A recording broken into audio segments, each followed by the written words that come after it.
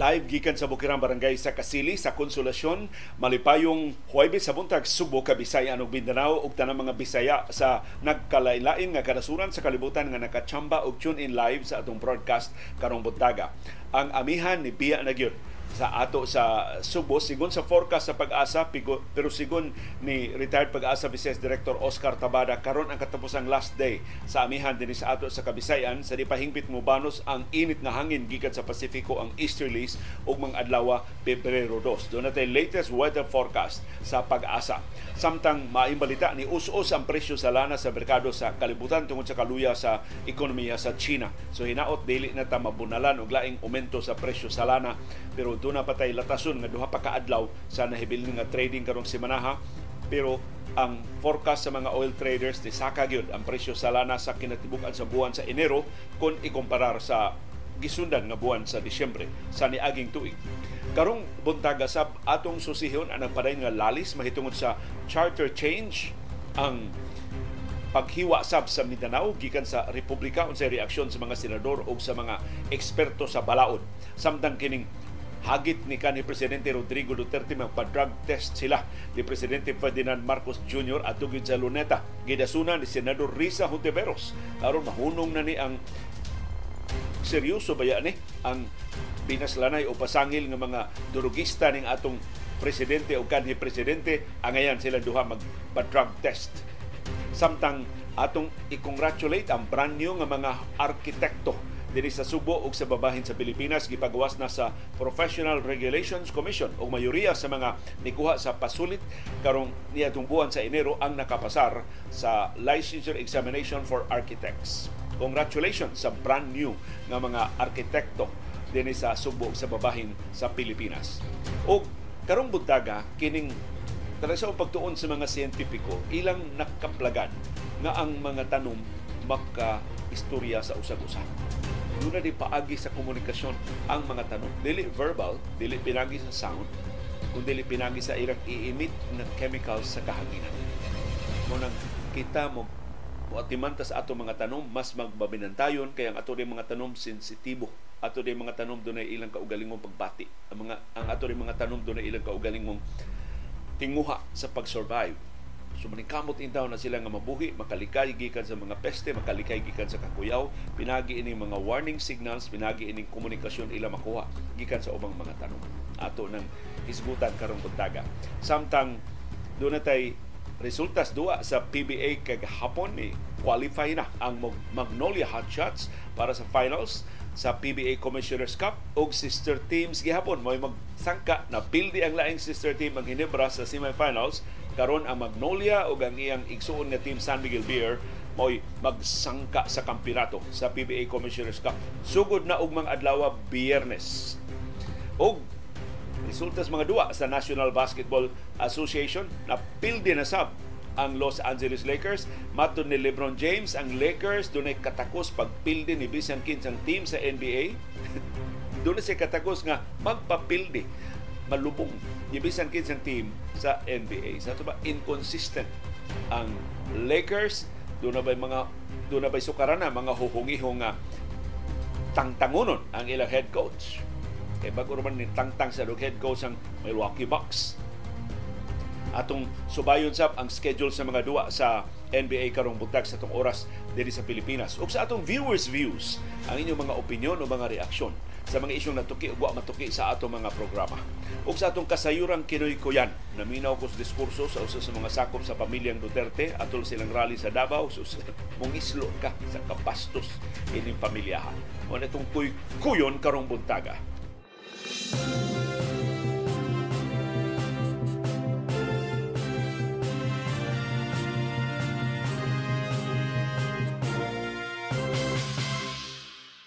Kumusta ang atong kahintang sa panahon? Has kang tugnawa gyapon diri sa among bukirang barangay sa Kasili sa Konsolasyon, way uwan, way huro sa hangin pero perting tugnawa lang gihapon.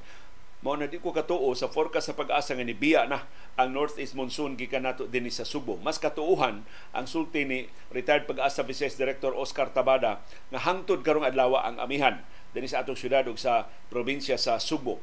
Matod sa pag-asa ang northeast monsoon na lang karon sa Luzon. Sa tuman isaka na siya, nibiya ni siya sa Visayas ug sa Mindanao, na lang siya sa Metro Manila ug sa Luzon. Ang atong nahibalin dinhi sa Kabisayan ug sa Mindanao mao ang trough sa low pressure area. Kitay mahiagom sa extension sa hinungaw sa LPA ug mopadako na sa atong kahigayonan sa pag-uwan dinhi sa Kabisayan ug sa Mindanao ang specific nga mga lugar sa Visayas ug Mindanao nga ginganlan sa pag-asa nga apektado sa trough o hinungaw o extension sa low pressure area nga by the way naa sa gawas sa Philippine Area of Responsibility. Umatod sa pag-asa wa ni kahigayonan makasud sa PAR wa sab siya kahigayonan mo kusog ngadto sa pagkabagyo. Magpabilin siya nga low pressure area hantud nga matunaw sa mosulod nga mga adlaw. Ang specific nga mga lugar nga apektado ini mao ang Subo ang Bohol ang Negros Oriental ug ang Siquijor tibok Central Visayas ang tibok Southern Leyte, ang tibok Caraga Region, lakip na ang siyudad sa Butuan, ang tibok Davao Region, nga naglakip sa siyudad sa Davao, ang tibok Soksargen, ug ang uban pang bahin sa Mindanao. Sa ito ba, practically tibok Mindanao. Ubos sa trough sa low pressure area. Kung sa pasabot ana, mapanganuron nga tos mapanganuron ang atong kalangitan, doon natin patak-patak, usay lapad kay nga pag-uwan, pagpanugdog ug pagpangilat. Mao ni epekto sa trough o extension sa low pressure area. Tungod ana, gipasidanan sa pag-asa ang mga lugar dinhi sa Subo ug Central Visayas ug Southern Leyte ug Tibok Mindanao sa posibleng flash floods, posibleng dunay pagbaha o landslides o pagdahili sa yuta tungod sa usahay mukusog nga bundak sa uwan. Dinis amo sa Bukirang Barangay sa Kasili sa Konsolasyon tibok adlaw kay gahapon way uwan pero arang-arang gyud ang kahimtang sa panahon mo. Init of course siya inig utong tutok, inig kasayong hapon pero inig tikyop na sa adlaw kanang ipanglakaw na namong CB og ni Dr. Iris diri sa kadalanan palibot sa among Pinoy anan has ka mugnawa na si CB malipayon kaayo nga maglakaw-lakaw uban sa umang mga iro diri sa among kasilinganan. Ang amihan mao'y mabatyagan sa Metro Manila ug sa tibuok Luzon karong adlaw. Mao ni ang forecast ni retired pag-asa Vice Director Oscar Tabada specific karong adlaw Huwebes, Pebrero 1 By the way, atong hangpon ang brand nga buwan sa Pebrero, finally natapos na ang murag way kinutuban nga buwan sa Enero. Mapanganuron ang atong kalangitan. Doon na tay rain showers karong adlaw. Ang chance of rain 60%. Ang hangin gikan sa northeast so amihan gihapon may nagdominar sa ato dinhi sa syudad ug sa probinsya sa Subo dunay gikusgon nga 15 to 30 kilometers per hour. Ang atong kadagatan moderate. Luwas sa gagmay nga mga sakayan. Ang temperatura 24 to 30 degrees Celsius. Musaka nagjutay ang atong temperatura. Ang atong heat index musaka na sa jutay to 34 degrees Celsius gikan sa 33 sa niaging nga mga adlaw. Ang atong kinab-initan nga mabatyagan sa atong panit aktual nga ka, nga temperatura na 34 degrees Celsius atong mabatyagan starting 12 noon today until 3 p.m today. So ingos Direktor Tabada ugma Pebrero 2 mo weekend na gyud ang amihan. Unya dili man na mablangko inig weekend sa amihan ang vacuum i-fill up sa easterlies sa init nga hangin gikan sa Pasifiko. So manguros na lang tandaan mas alimuot mobalik ang dadang kainit ugma Pebrero 2 pero ayaw mo kabalaka matod ni Direktor Tabada mobalik na sab ning amihan dinis ato. Ambot mag tinuod ba ng sulti kuno sa atong katiguangan nga walo-walo walo ka adlaw amihan walo ka adlaw mawa sa amihan so maghihaptag wow ka adlaw gikas Pebrero 1 mao nay pagkawa sa amihan mobalik dialing amihan dayong Valentine's Day wa gini wa gini tuyo ah. pero i-moderate nato ang atong material nga pagtimaan sa Valentine's Day kay ang Valentine's Day Pebrero 14 mao sa pagsugod sa Koresma mao na siya ang Miyerkules Badles. Pagsugod na sa 40 ka adlaw nga mula mo resulta mo sangpot mo sangko sa Semana Santa karong tuiga.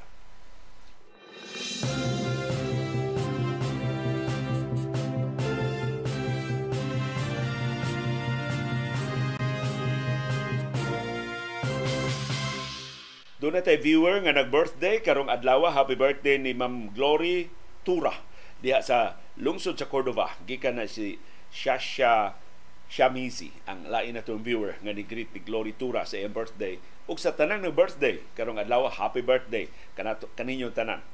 Ang presyo sa lana mo among ang pag-ubos sa presyo sa lana sa merkado sa kalibutan mo tamis kay nga birthday gift ninyo karong adlaw ni us-us og kapin usa ka dolyar kada baril ang presyo sa lana sa merkado sa kalibutan tungod sa low economic activity sa China. Ug ang China mao mong kinadak-an nga importer og krudo sa tibok kalibutan. So kung luya ang iyang ekonomiya, luya ang kalibutanong ekonomiya. In fact, sigon sa mga oil traders, apil na sa Organization of Petroleum Exporting Countries, kini ang ilang gi-forecast nga pagsaka sa konsumo, pag-recover na sa merkado sa lana. Karong tuiga, nanukad ni sa China. Musaka lang ang global consumption sa lana kung makabarog na pagbalik, maulian na ang ekonomiya sa China. Pero ang latest economic data sa China dili masaaron mao na nga nius-us ang presyo sa lana sa merkado sa kalibutan.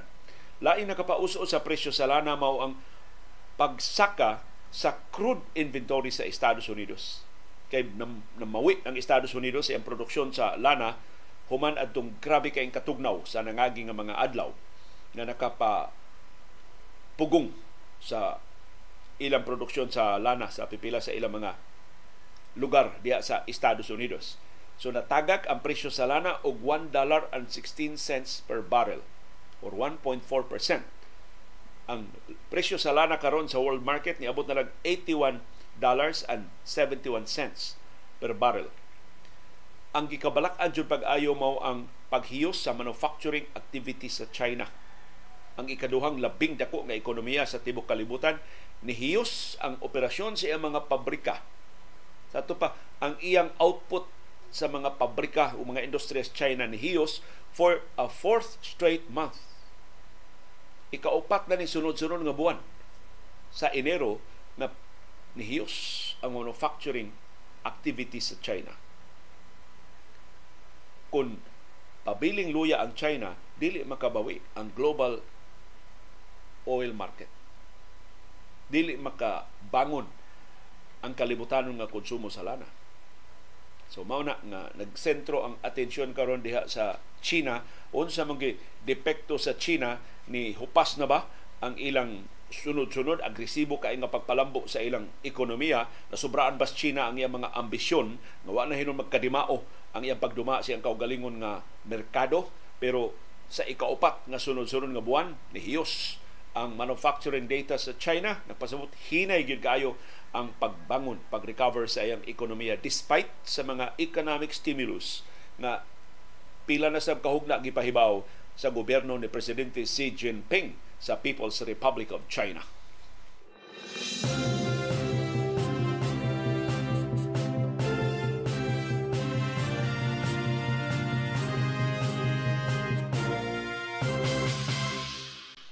Dili lang ang pamilyang Marcos ug Romualdez sa usa ka bahin ug ang pamilyang Duterte sa pikas nga bahin mao nagbugno sa atong nasod karon.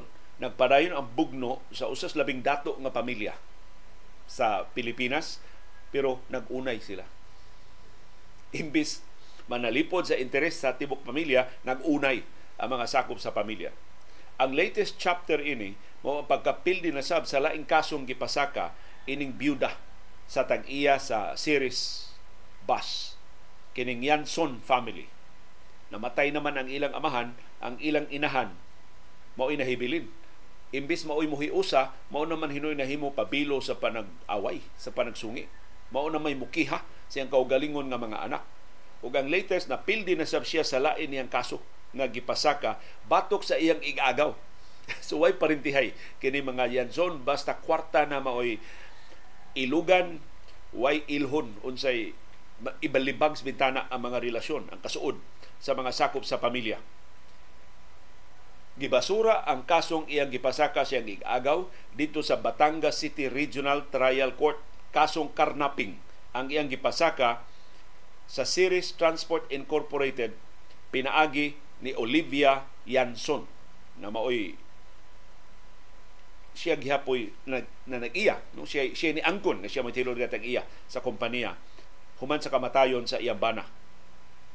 Kining opisyal sa iyang igagaw nga opisyal ra sab sa series aliado ni sa iyang upat ka anak nga iyang gikontrahan iyang gikiha iya in fact nga gidis-inherit. Silang ang ang nahibilin niya kanang duha niya ka anak na silang Leo Ray o si Jeanette. Sila may nagkontrolar sa series. Mao na sila nagkontrolar sa ng terminal, sila nagkontrolar sa negosyo. Pero nagpadayon ang kaso. Kay on paper, ang tinuod nga how doon series katong upat nga gidis-inherit sa inahan nga si Olivia. Si Regional Trial Court Judge Dorcas Ferriols Perez sa Batangas ni absuelto ni Antonio Zerna.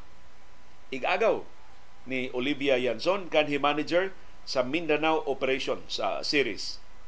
Sa diyang buhi pa ang iyang bana nga si Ricardo Yanson. Matod sa korte na pakyas ang prosekusyon pag matuod nga gikawat ining sinumbong ang Toyota Fortuner.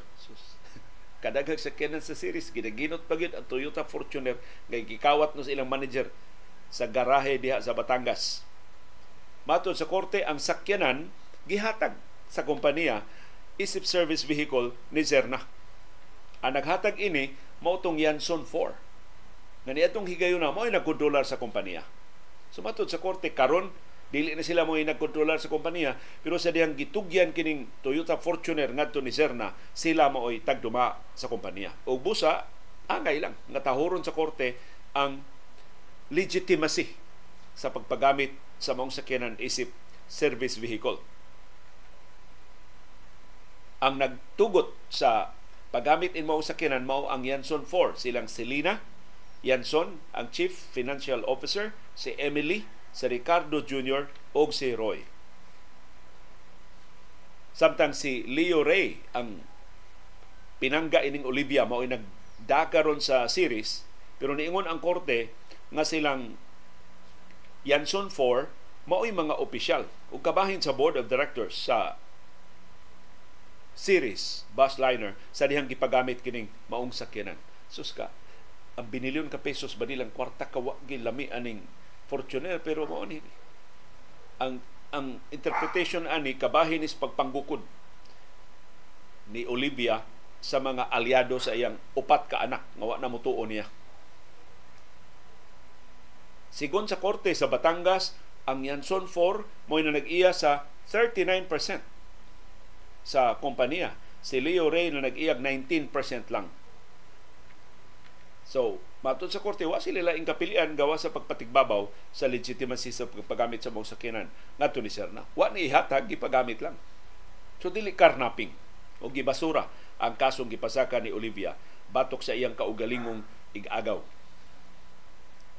Kining kasuhan ni sunod ni sa pagkapildi sab ni Olivia sa laing kasong iyang gipasaka sa RTC Branch 42 dis Bacolod si Judge Maria Lina Gonzaga ni basura sa kaso. Ni Olivia nga nag-auhag sa pagbasura sa extrajudicial settlement. Sa katigayunan ni Ricardo Yanson katong iyang bana nga nihatag sa majority sa kompanya ngadto sa Yanson 4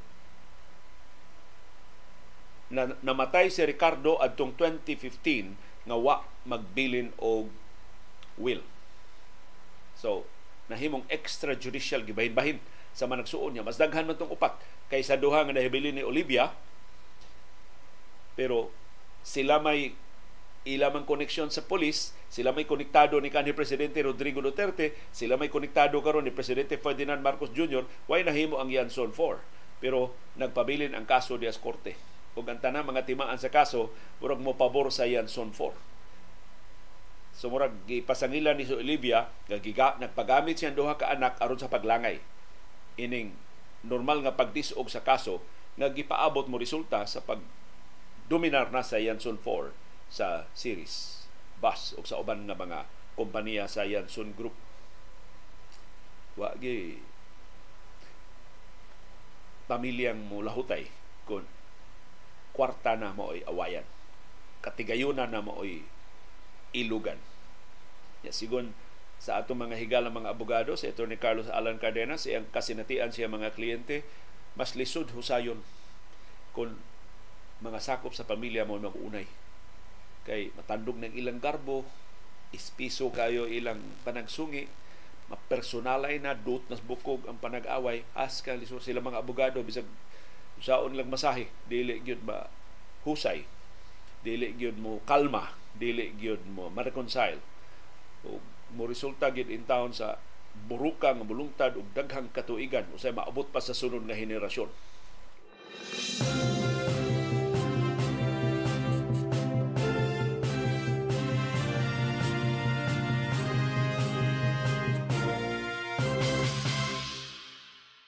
Maayong balita para sa mga masakiton, para sa duna intay mga sakit, gipaabot mo barato ang mga tambal sa mga sakit nga cancer, diabetes, hypertension, kidney disease, mental illness o TB, tuberculosis.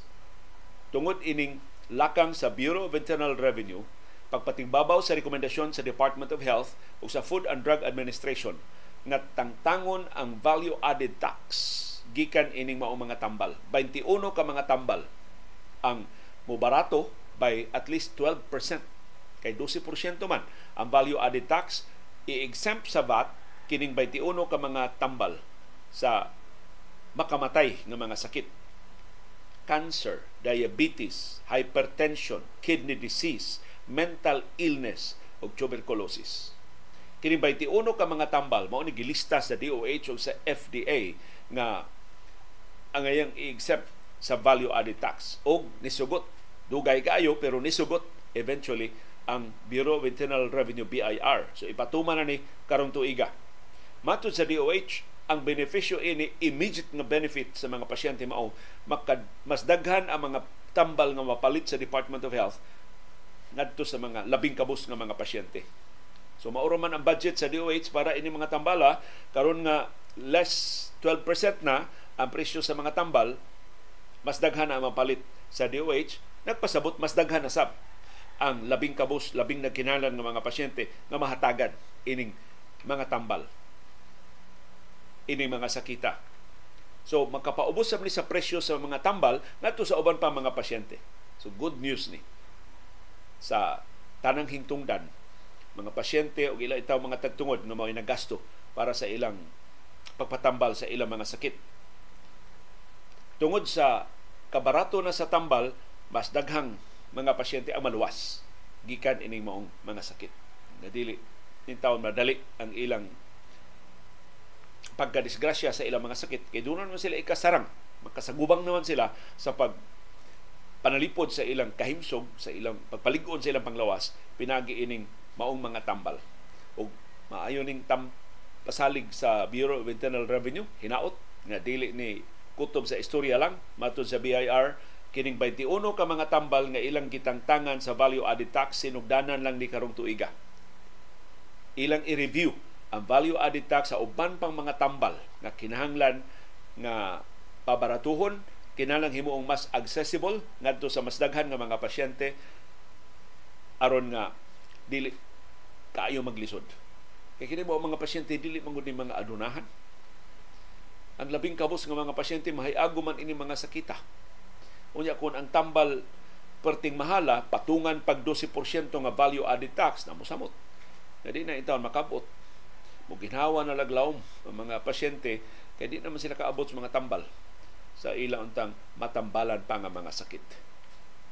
Pero atong pasalamatan ang BIR ining exemption sa value added tax uban ang pahinumdom do na mo'y mas dakong gimbuhaton o mas daghan tila mga Pilipinon ang malipay hasta ni mga masakiton. Posible maayo pa ni sila gikan sa ilang mga sakit, labi ng mga sakit nga naggumikan sa stress, mga sakit nga numiran sa konsumisyon kay wa nang kasabot sa panghitabo sa nasod karon kung inyong kolektahon ang kinadak ang utang sa estate tax sa atong nasod ug sa tibok natong kasaysayan.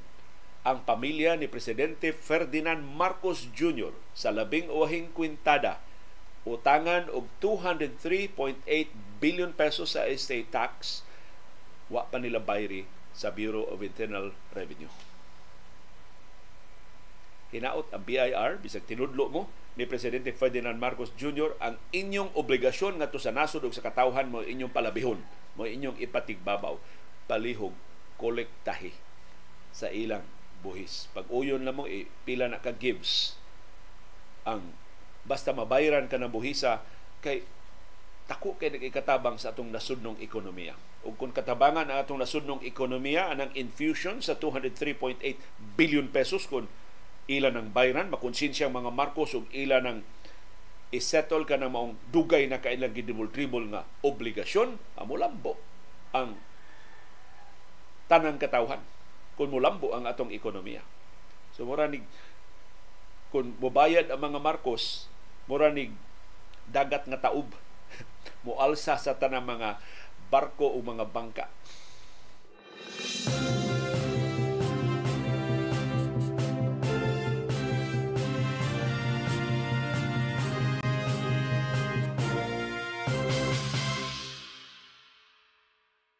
para sa gustong mopadayon sa ilang pag-eskwela ni may balita gikan sa University of the Philippines UP Open University.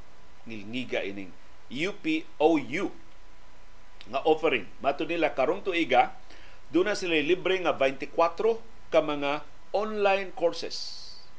24 ka online courses. Doon na kay certification gikan sa University of the Philippines maka tiwas ka ini Nya online dili ka kinahanglan adto sa UP Diliman, di ka kinahanglan adto sa UP Cebu, di ka kinahanglan mo, eskwela, di ka kinahanglan mag matanggong sa trapiko, di ka kinahanglan mo gasto sa plitihan, anha ra ka sa imong kaugalingong Pinoy-anan. Nya ikaw ra agdon. Tiwaso na nimo og usa ka buwan, tiwaso nimo og duha ka buwan, nara nimo. Mutubag ka sa an, mga questions buntag, or ganahan ka sa hapon, o ganahan ka sa kadlaw, nara nimo. Ikaw ray magbuot open online courses kining gitanyag sa UP Open University karong tuiga 2024. Apil sa mga kurso na gitanyag Gender Sensitivity Training, Business Analytics Concepts and Frameworks, Principles of Graphic Design, Social Entrepreneurship, ug daghan pang uban. Kanindot ani mga kurso ha. Matod sa UP Open University, our courses are free. Self paced. Ikaw rin magbuot. Kano sa mo kuhaon. And open to everyone. Tanan. Makahimo pagpa-enroll ini. So you may complete them at your own convenience. Kanindot aning press release sa UP Open University. At the end of each course, matod sa UP, completers will be awarded e-certificates which you may include in your resume as a 16-hour training. So di ni tibok semestre. 16 ka oras nga training ang i-certify sa UP. Ug magamit na nimo sa pagpang-apply sa imong trabaho. Di mo magkapangangko na ka graduado ko sa 16-hour training sa University of the Philippines. Para sa mga detalye, gusto mo sa schedule, sa mga kurso, unsaon sa pagparehistro, palihog duawa lang ang ilang website sa UP Open University. model.upou.edu.ph Mo na ang ilang website. model.upou.edu for education.ph for Philippines. Nakaabli na ko ining ilang website. Doon na mga detalye dito. Kaya ako interesado ko makat-on ining pipila sa ilang mga kurso, labi na kining mga IT uh, courses nga ilang gi offer. Unya kanindot ini nara imo rang kaugalingong pace ang ilang agdon. Kanu sa nimo tiwason, kanu sa nimo sugdan. Kini mo mga kurso. Ug magamit nimo sa imong pagpalambo diya sa imong skills, pagpalambo sa imong panginabuhi, pagtabang diya sa gagmay nimo mga negosyo, ikaw na mo design sa imong kaugalingon nga mga graphics, uy kanindot anak kadakog pila ka milyon ang gastos pagkor sa pag-usab sa ilang logo, ikaw di maghimo sa imong logo nga haom kayo sa imong negosyo, haom kayo sa imong grupo, haom kayo sa imong organisasyon, has ka ninduta. Ug kana imong makatunan, libre, way bayad.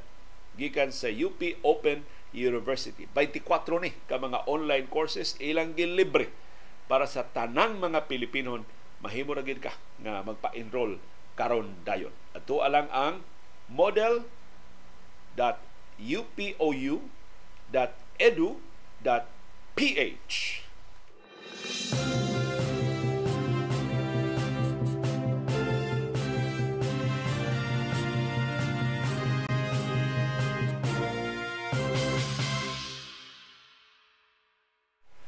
Doon na tayo graduado sa UPO si Sofia Villalobos niingon usa kos naka-avail sa UP Open University online pagsugod gyud sa pandemic I got na my certificate. Graduado na siya sa University of the Philippines. Palihog Sofia i-share dia sa comment box ang imong experience, unsa man nimo pagpa-enroll, unsa ba kasayon ang pag uh, sa gubang ini mo mga kurso sa UP. So gi-offer na din ni UP sukad pa sa pandem pandemya sa COVID-19. So kapintulo ka tuig na ang uh, nilabay. O karon ilang gipadayon sa bag-ong tuig sa 2024. Nindot ni na balita para sa mga gusto nga mo pursu, mo pa sa ilang edukasyon, gusto makat-on sa mga skills nga gikinahanglan kay sa pantrabaho o pagnegosyo karon. May tungod gihapon sa edukasyon ang may balita gikan sa Professional Regulation Commission PRC do na brand new nga mga architects sa sugbog sa tibok Pilipinas niabot og 1,809 ang brand new nga mga architects. 62% ang nakapasar sa 2,933 na nikuha sa January 2024 license, licensure examination for architects. Kini mo pasulit gihatag sa Board of Architecture adtong niaging buwan sa Enero. So doon na tayo viewer na ako ginakitaan ang iyang post sa Facebook na nang hangyo siya pangaliya para siyang anak kay mukuha sa licensure examination sa architects. Humas pila ka adlaw pero gahapon ako nabasahan siya daghang salamat sa inyong prayers nakapasar ang iyang anak. So iyang anak usa ining dulan duha ka libo ka brand new nga mga architects sa Subo sa ug sa Pilipinas. 1,809 ang atong brand new nga mga architects. So naot mas nindot pa ang atong mga buildings, mas pulido ang atong mga istruktura, mas makasugakod sa mga hulga sa bagyo, sa linog ug ubang mga katalagman.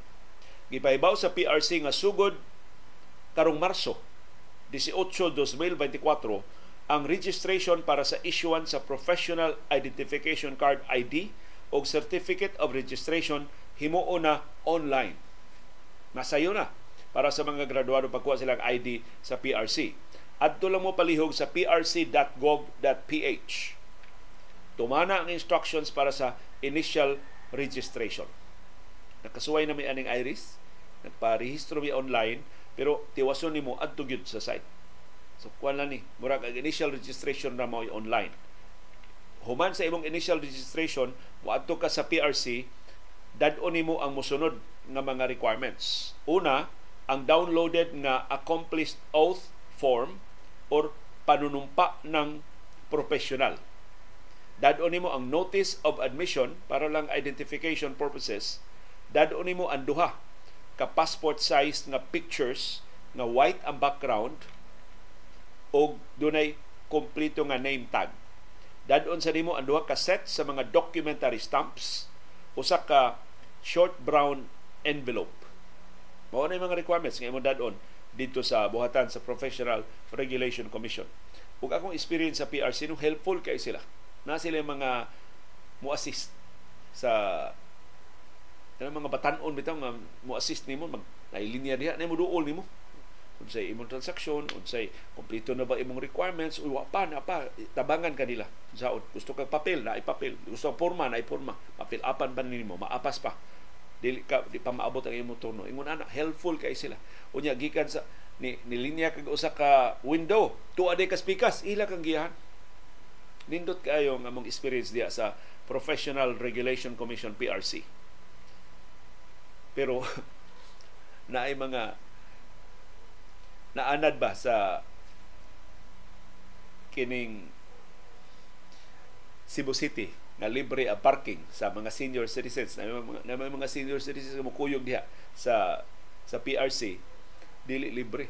Kay kanang PRC naa nas utlanan pero naa nas habig sa Mandawi City. Kina man dool sa data ang ang PRC sa HVG Arcade so kuan na Henry Gaisano uh, arcade na pahinungod na ni Henry Gaisano kanang HVG Arcade. Mandawi City na na. Wa may apil Mandawi City. Anang ordinansa nga libre ang mga senior citizens sa first 3 hours sa parking. So palihog, atensyon Mayor Jonas Cortez, nga no man Mayor Jonas dili kaganahan mohatag og dugang benepisyo sa mga senior citizens sa Mandawi. Nabiya pang atong financial assistance sa Mandawi ikumpara sa financial assistance sa Cebu City.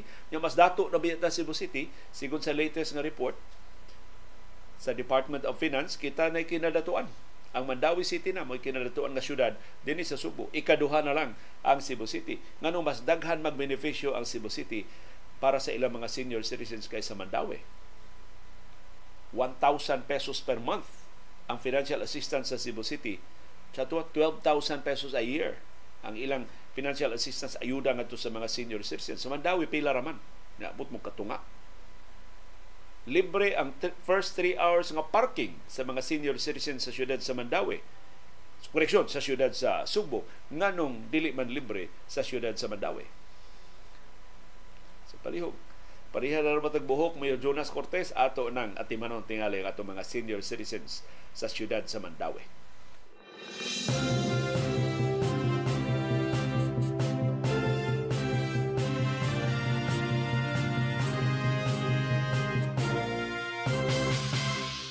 Ang good news ni tingog na ang Catholic Bishops Conference of the Philippines batok sa People's Initiative. Ilang gihulagway ang People's Initiative nga pagpangilad dili di ni People's Initiative gipasugahan na ni sa hakog nga mga interest sa mga grupo sama sa mga kongresista. Mo na good news di tingog na ang CBCP batok sa People's Initiative. Ang bad news nagpabiling takom hilumpas tirana ang mga obispo sa Subo kung sa may nahitabo in sa mga obispo sa Subo nahali na tanas mga politiko mahadlok na mo muluwat og mga baruganan sa maining giluwatan sa CBCP. Pero CBCP itself na uwahin na ni naguna ang mga obispo sa Bohol. Mga obispo sa Bohol ug kaparian sa Bohol ni pirma og pastoral letter nga ni batok sa pagpanunto, pagpanlingla ining People's Initiative. Nganong ato mga obispo kaparian sa Subo perti man talawana kay spiritual advisor mo sa mga politiko? Kay gigastuhan mo sa mga dagkong mga negosyante? Na mga pare bitaw mo palitrato na sila sa airport nindot kay silang mga luggage daghan kay silang pinalit. Di man na sila nagkukwarta na. Pila ra may kita sa simbahan kung tinorong ang ilang pagkapari. Gigastuhan na sila sa mga dagkong negosyante. Din ni Subo ug di ka distinguish ang mga pari anang favors nga gihatag sa mga negosyante ug sa ilang loyalty sa mga parokyano sa ilang obligasyon ngadto sa katawhan. Sumuro ni silang mga pari sa panahon sa Kristo na suwawag bahandi ang gagmay kay pabor di man kay dagko ning pabora ba? Wa man sila tukuring mga palasyo. Gipabiyahe lang ato sa Roma. Gigastuhan ng ilang mga biyahe Gi-business class tele sila sa aeroplano, palit ng ilang kalag. Nawagtang ng ilang kaligdong. Nahali ng ilang prinsipyo. Na pait. Hantod karon. Wa ko kadungog bisag usa lang ka pari dinhi Sugbo. Bisag usa lang ka obispo dinhi Sugbo. Na nitingog batok sa People's Initiative. Of course, technically, ang atong mga obispo din sa Subo sakop sa Catholic Bishops Conference of the Philippines, ako las botasyon og dito ni botar pabor sa PI na napil nila sa mayoriya sa mga nisaway sa PI. So ang Catholic Bishops Conference of the Philippines nisaway sa People's Initiative nga dili People's Initiative kundi pangilan, paglingla. Gipasugdahan ni mga hakog nga mga interes. Matod sa CBCP, it is clear that the signing is not the result of a careful study and discussion. Gitago ang pirmahay. Wa mo ito mahibaw hantod na naabot na sa tukmang gidaghanon ang mga pirma. So yung na si BCP, why diskusyon? Nga wa man ipahibaw? Nga wa man pasabtang mga tao unsa nang ilang gipirmahan? Atol sa tigom sa Catholic Bishops Conference of the Philippines CBCP, Niluwat sila ining statement gipirmahan sa presidente sa CBCP nga si Kaluokan Bishop Pablo Virgilio David. Sus nakabasa kog artikulo ni Bishop Pablo Virgilio David. Manghud man din siya ni Marandi David kanang columnist sa Philippine Daily Inquirer. Baguwang na siya ni Bishop Virgilio Pablo Virgilio David Matod sa CBCP silang official statement, it seems that this people's initiative was initiated by a few public servants and not truly from the initiative of ordinary citizens. Which is a very basic objection. Anong tawgon man imong people's initiative nga Congress initiative man din eh. Perma initiative man din eh. Ang pangu sa perma ni ni gasto sila 55 million pesos atong ilang EDSA Puera TV ads. Kung imong gustong usbon ang konstitusyon, ngano imo mang dauto ng EDSA? Aron pagdani sa suporta sa mga Marcos o sa mga Romualdez. O in fact, nakuha gid nila suporta sa mga Marcos o mga Romualdez.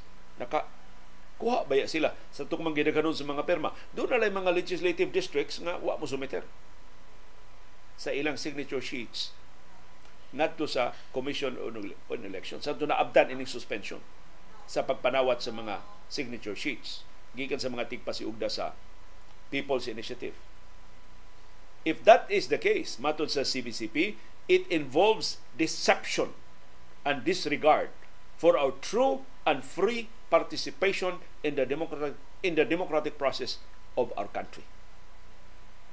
So kay di man mga mulupyo di nagpasiugda ini, pangilad ni og pagsalikway ni sa atong tinuuray o gawasnon nga pag-apil sa demokratikanhon nga mga proseso sa atong nasod. Gikutlo sa Catholic Bishops Conference of the Philippines og dako ni natong garbo ang subuanong kanhi Chief Justice nga si Ilario Davide Jr. Kay si Chief Justice June Davide dakong haligi sa Sibahang Katoliko. Murag sa Knights of Columbus, mantingali na si Chief Justice Davide Gihulagway ni Chief Justice Davide ang 1987 Constitution as the only constitution that is pro-God, pro-Filipino, pro-people, pro-poor, pro-life, pro-law, pro-family, pro-marriage, pro-human rights, pro-women, and pro-environment. Therefore, matod sa CBCP, any discussion about it is crucial and should not be taken lightly. So, ang bisan unsang plano, diskusyon, panaghisgot sa pag-usab, kinahanglang tarungon. Dili lakturo, lakturon. Dili bugal-bugalan. Ni padayon ang CBCP, silang opisyal nga pamahayag, many economists and sociologists point out that our Constitution is not the real hindrance to our progress. Ang mga ekonomista mismo sa tibok kalibutan ni Ingon, dili ang konstitusyon sa Pilipinas mo'y problema. Dili mo'y higot nga nung ta mo lambo. Matod sa CPCP, as the International Trade Administration states, kini ang kalibutano ni, na watchdog sa mga ekonomiya sa nakalilaing kanasuran, nagkanayon, gikutlo sab sa CBCP the Philippines continues to lag among Asia Pacific peers due to poor infrastructure and a decline in government and business efficiency. Noon ay rason. Dili ang atong 1987 Constitution. Kuwang tag-infrastruktura. Nagkamang atong internet. Bati kayo atong mga dan. Mas daghang libaong kaysa suspeita. Mga libaong, mga dan, bantal No, kailan ko nun memoryahon, adto mabuasot ka. Lawom na kayo ubang mga libaong. Noon sa naman yung atong kadalanan Cebu City Mayor Mike Rama. Sige lang bakasyon unya atong kadalanan parte daghanan ng mga libaong. Og decline sa government business o business efficiency. Apil ani ang corruption. Kanang dugay kay mulusot ang imo mga transaksyon kay pabayron pa kasperma Matod sa CBCP, musaad sila nga ilang palihukon ang tanang mga simbahan pag-initiate og discussions about the Constitution and other current issues. So, di man gusto sa mga tigpasiugda, mahibaw mga tao, ang giunsa na pag-usap ang konstitusyon, ang simbahan. Mo'y mutabang sa pagpasabot sa konstitusyon. Matod sa CBCP, our prayer is that we will not sign or agree to any petition without careful discernment, discussion, and prayer. Let us not allow such deceptive systems to continue. Encouraging those who continuously exploit our nation. Di na ito pasagdan. Magpadayon kining pagpangilad na madasig na hinoon kining gustong mangurakot sa atong nasod. Mubasiyos panudlanan sa atong nasod. Daghang salamat sa Catholic Bishops Conference of the Philippines, CBCP. Hinaot tugkan sa kaisog ang uban pang mga obispo ug uban pang kaparian labi na din ni Subo pagbarug para sa katawhan o para sa nasod dili para sa ilang mga politikanhon nga mga padrino o mga padrina o mga negosyanteng tigasto sa ilang mga biyahe sa Roma.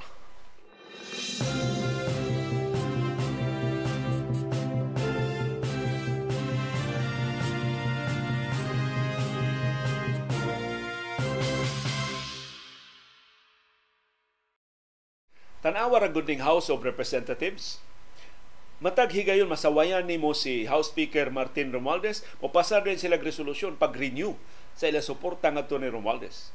Either insecure kay ni si Romualdez or crybaby ni si Romualdez or gusto lang sila mo pintal ba og imahin ningig kay ni lideratos Romualdez. Matag higayon din mo tikdol ni Romualdez bantay la mo ang tibok House of Representatives mo mo kontra ninyo.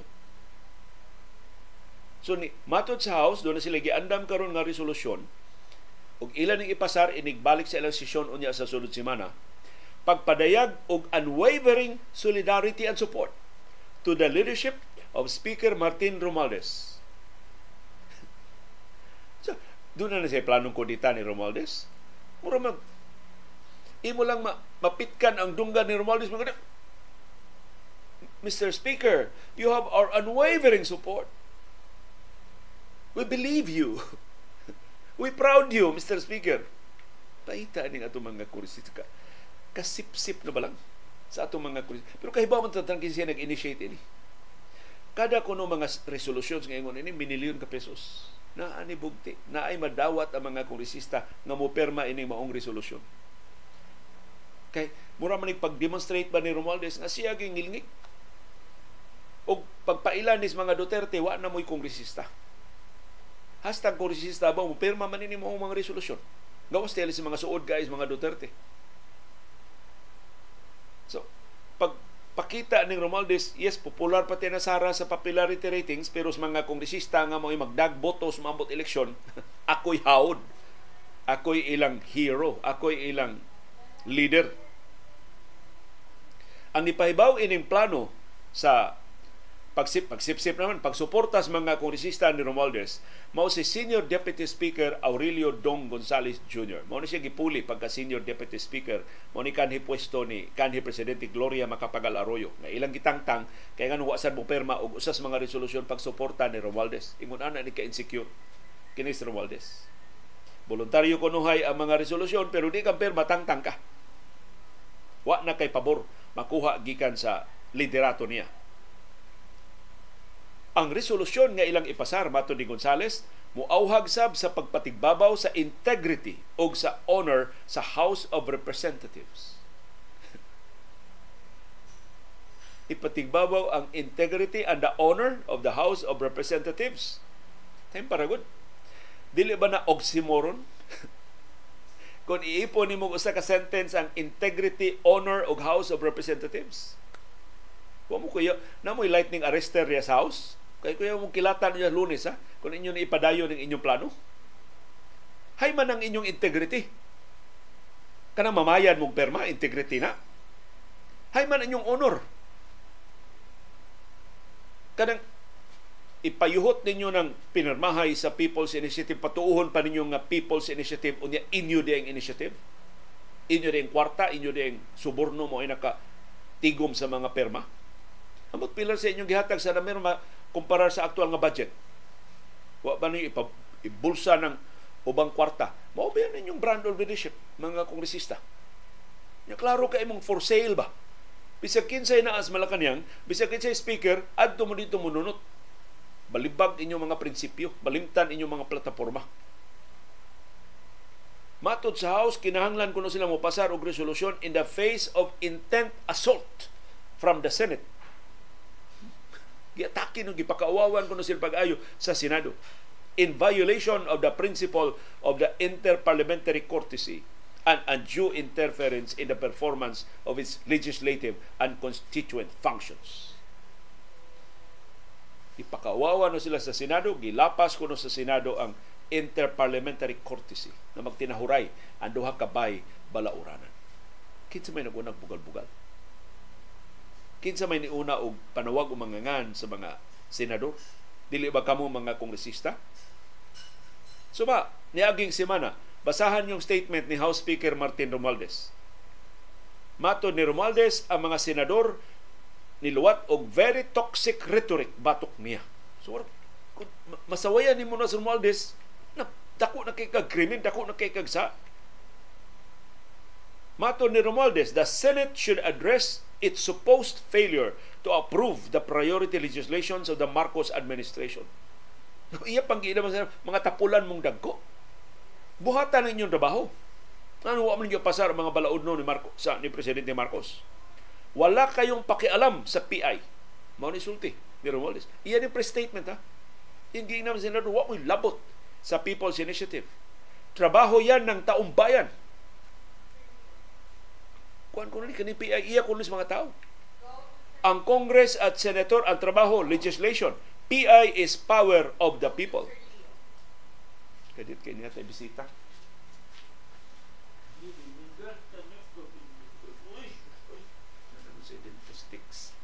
Nag-away ng House ug Senado si pero migo lang gihapon tas mga viewers ha.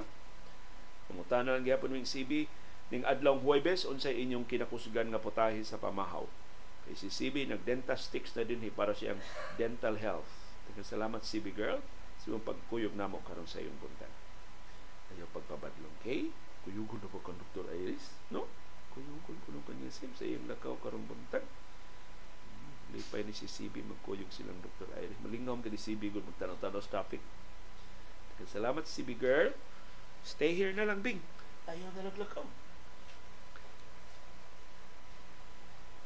So, kinsa may nangaway? kinsa may na personal? Iya pang gitawag ang mga senador ng mga marites. Di, di ba na name calling?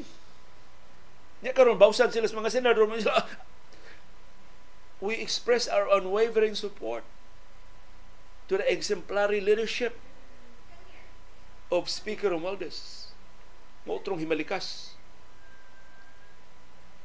Ingon si Romualdez, you senators should buckle down to work.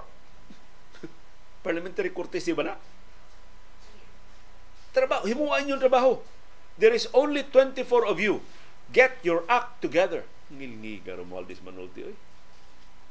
Okay. 24 ro mo kabuok. Tarungan ang inyong trabaho. Focus on your work.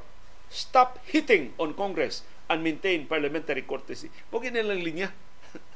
Mapika na gani sila parliamentary courtesy na yun. Pero sila, gana, gawas nun kasi sila mo sa mga senador, ng mga tapulan, mga hambugero, mga arugante, mga marites. Ubawas na gani mga senador, ops, parliamentary courtesy. Toxic na inyong rhetoric. Pasar ng resolusyon ng mga kurisista. Mr. Speaker, you are still the best. We still love you. We still adore you we still support you. Kung pustaanay pa, magunag pirma ini ang tanang kongresista sa Subo. Wa nay kongresista sa Subo na hibilin sa mga Duterte. Wa nay kongresista sa Subo makaresist ining ambot unsa matanga liderato ni House Speaker Martin Romualdez na suyop man ang hapit tanang kongresista ngadto niya or ingon ini ni siya ka insecure mapikhan nagjutay unwavering support statement dayon ang iyang idemanda gikan sa iyang mga sakop.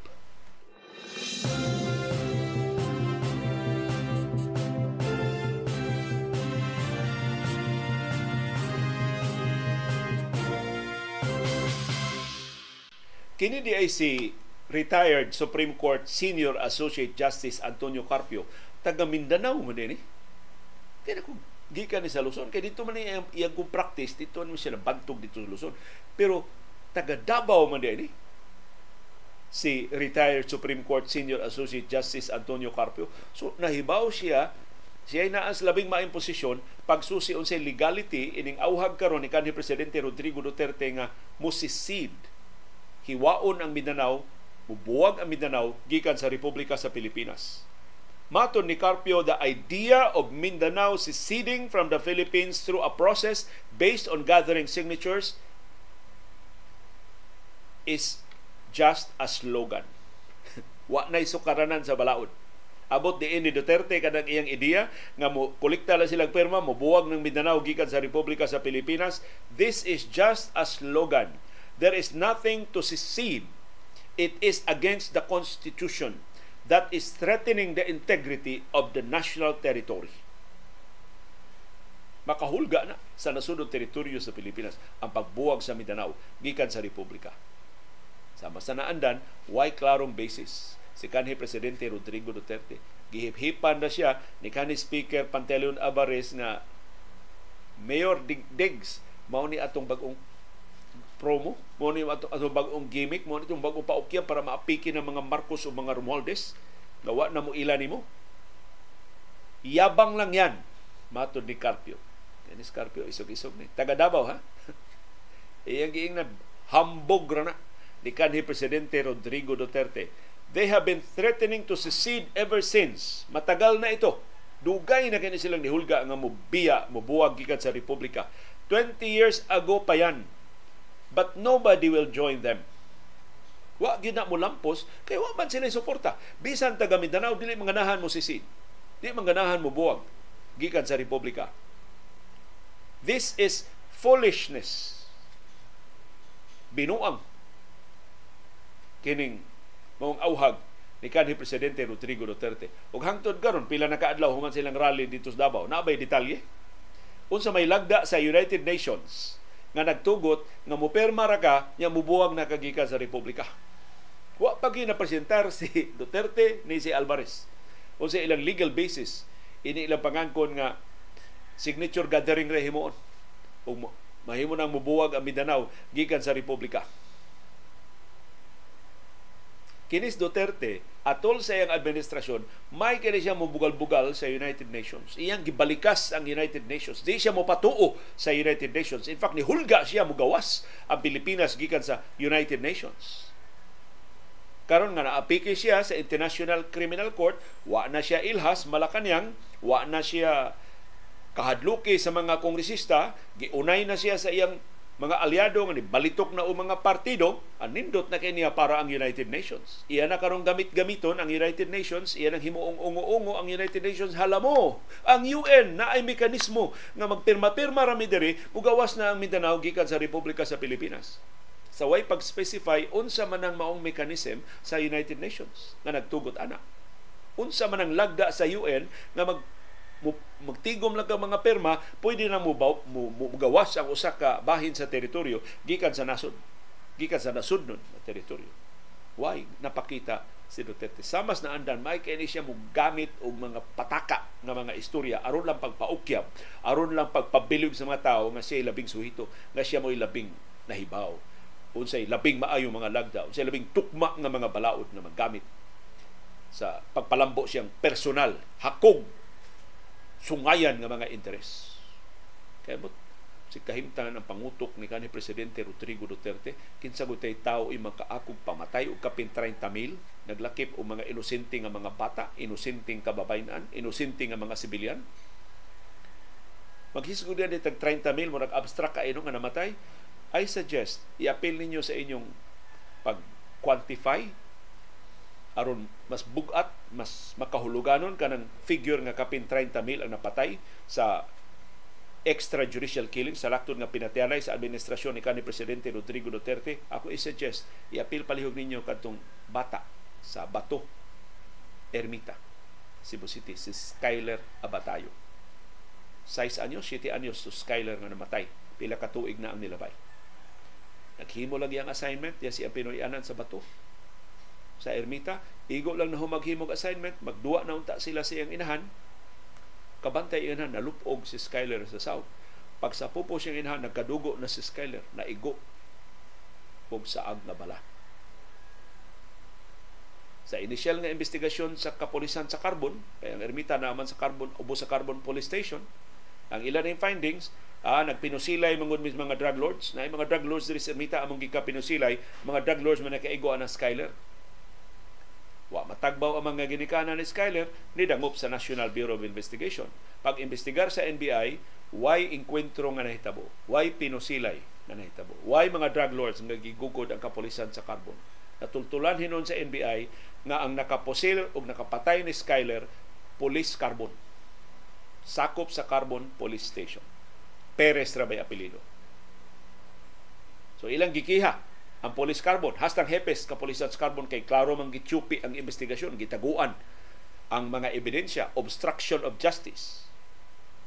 Imbis pahalipayan ng NBI sa nindot kay nilang investigasyon ang hepe sa Cebu City Police Office nga suod kayo ni kanhi presidente Rodrigo Duterte si retired Colonel Royena Garma ni ulbo ang kaspa gikasab-an ang NBI nganong nakaako pagkiha nila sa ilang sakop gipalagpot ang regional director sa NBI labay dito sa Mindanao. So unsang matanga sa pagka-leader si kanhi presidente Rodrigo Duterte makaako pagluba og inosenteng bata sa ni Skyler Abatayo niya. Duphan pa ang mga pulis. Kay igo lang nagtuman sa iyang sugo. Nya karon mo imong hulga mo ingon nga ako'y kampiyon sa 1987 Constitution. Ako'y manalipod sa rule of law ining nasura. And by the way da sa ilagda nga ako nakitaan nga pirma-pirma rami mo buwag na ang Mindanao. Ang tinuod nga suhitos balaod.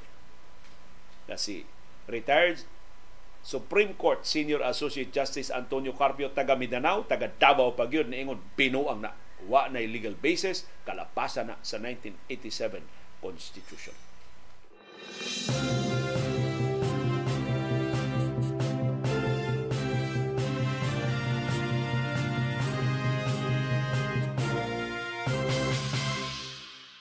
Hastang ubang taga Mindanao, mga kongresista o mga senador nga taga Mindanao ni salikway sa auhag ni Duterte. Paitas mga Duterte. No? Kaniadto sa ilang administrasyon, tanang bukas ba, ba ang Duterte, ambahan na yung tanang kongresista senador. Yes, Mayor! Yes, Mr. President! Sakto na! Mamalika sa presidente, maglingiw-lingiw sila. Mura lagwa ay nabatian nga dili maayo. Karon, bisag sa isulti Duterte, ilan ang sukwahion? Wa na may kwartas Duterte. Wa na mas poder si Duterte apil sa nisupak ining gisugyot nga pagbuwag sa Mindanao gikan sa Republika mao si Senate President Juan Miguel Subiri nga taga Bukidnon so taga Northern Mindanao o si Senate Minority Leader Aquilino Pimentel III nga taga Northern Mindanao. Sa kay kay oro man ni ang political base ni Coco Pimentel. So karon pa ko ka-realize ha, ang duha ka labing dagko mga leader sa Senado ang Senate President o ang Senate Minority Leader pulos taga Northern Mindanao. Dili gani sa ubang bahis Mindanao, Northern Mindanao sila duha. Si Subiri sa Bukidnon, si Pimentel sa Cagayan de Oro. Matod ni Subiri o ni Pimentel, binuang ni ang plano ni kanhi Presidente Rodrigo Duterte pagbuwag sa Mindanao gikan sa Pilipinas. Mato ni Subiri mao ni katapusang butang nga angayang himuon ining nasura kay nabuak-buak na ang katawhan, buak-buakon pag ang atong nasudnong teritoryo. So niingon si Subiri ang ayan nga ang interes sa nasod mo ipatigbabaw dili ang pamulitika sa mga leader. Mura si siya guwa maigo na. Si Pimentel sa iyang bahin niingon supak siya sa bisan unsang sugyot sa secession o separation sa Philippine territory ironic kaayo nga ang usas labing seryoso nga pagsuway, pagbuwag sa Mindanao gikan sa Republika diha umula sa Cagayan de Oro atong 1986 sa liderato ni Ruben Canoy. Kato Ruben Canoy mura karibal to sa mga Pimentel diha sa Northern Mindanao although kato Ruben Canoy wa man gito siya mutako. Na himo lang to siyang kongresista ba na pero wato siya ma, masenador. Nidagan siya sa senado na pildi si Ruben Canoy. Pero para na mo mga broadcasters, popular kay na si Ruben Canoy kay magsisibya man na siya. Ang mga kanoy may tag-iya ng RMN. Nya way makabalibad atong iyang programa katong iyang perspective katong murabag actually iyan na itong gisunod kang Doroy Valencia. Si Doroy Valencia na programa ni adto nga i-air sa tanang radio stations. Si Ruben Canoy naghimo siya version ni Kadoroy pero binisaya ang iya. Perspective ang ngan sa iyang programa. 15 minutes ra niya isibya sab sa tanang istasyon sa RMN sa Visayas ug Mindanao. Or at least kadto makasabot og binisaya. Kay binisaya man to ang iyang programa. Pero ang nindot man kay ito bisag imo paminawon karon napamatili mga recording ang RMN atong broadcast ni Ruben Canoy nindot kay iya mga binisaya kada bitong timgas kay binisaya kana di ka maka-expect taga Mindanao ni mo ni Visayas ka di oro dili si Ruben Canoy igo lang nabasa sa script Of course, iya tong ideya, pero ang pagkalalik sa mga pung, ang nindot kayo nga mga pagpasabot in our Cebuano language, Cebuanon ang nagsuwat ato. Ang ghostwriter ni Ruben Canoy siyang perspective, mao ang upunganon. Lumad nga taga siyudad sa Lapu-Lapu, si Lori de la Serna. Pariente ni anhing gobernador Tingting de la Serna sa Subo. Kato Lori de la Serna usa tos labing bantugan, banggiitan nga mga magsusuwat o komentarista nga binisaya. Ug siya may sinaligan ni Ruben Canoy, siya tigsuwat atong perspective ni Ruben Canoy. Mutong hanay kay mga ideyang Ruben Canoy kay iya itong basahon ang sinuwat ni Lori de la Serna. Pero diha magsugod ni Ruben Canoy sa Cagayan de Oro katong Mindanao Independence Movement. Kato ila pagtukod og Federal Republic sa Mindanao. Na niresulta gyud sa mutiny gipanguluhan ni Colonel Alexander Noble og na bolilyaso hinon sila na priso hinon sila. Tungod adto napakyas of course. Ang mga pagsuway paghiwa sa Mindanao gikan sa Republika. Sa iyang bahin si Senador Chis Escudero. Di na ni taga Mindanao taga Bicol na niingon ang paghiwa sa Mindanao gikan sa Republika is con is not constitutionally possible labaw pa ni sa amendment sa konstitusyon. Kini paghiwa na gini sa atong nasudnong teritoryo. Pero nahibaw na mga unsay tuyo ni Duterte. Karon nga wa na siya lami. Karon nga di na siya tuuhan sa presidente. Karon di na siya tuuhan sa House of Representatives. Karon gibiyaan na siya sa iyang mga sakop sa PDP laban. Tiya mo na at the height sa power sa PDP laban sa siya pay presidente ang PDP laban had 120 congressmen 120 ka kongresista sa PDP laban hapit katunga sa tanang sakop sa House, PDP laban. Pagkahuman na si ang termino, pila na hibilin sa PDP laban karon murag lima na lang. Tiyaw na from 120 to 5. Lima na lang ang nahibilin sa PDP laban. Kung naglakip na na siyang anak. Amot, PDP laban ba na si Pulong o si Baste, di ba na pero ila man ang partido gyapon ang hugbong ng pagbabago. Kaya wala may klaro ang iyang liderato, ang lawgaw na lang siya. Sakyan niya ang chacha, karon iya na sang banhawon ang secession movement sa Mindanao. Pero ning higayon na mas mutuo ko ni presidente Ferdinand Marcos Jr. Murag epekto na ni sa fentanyl. Sa Binisaya pa wa na ni magkadama magkadimao ang iyang pangutok.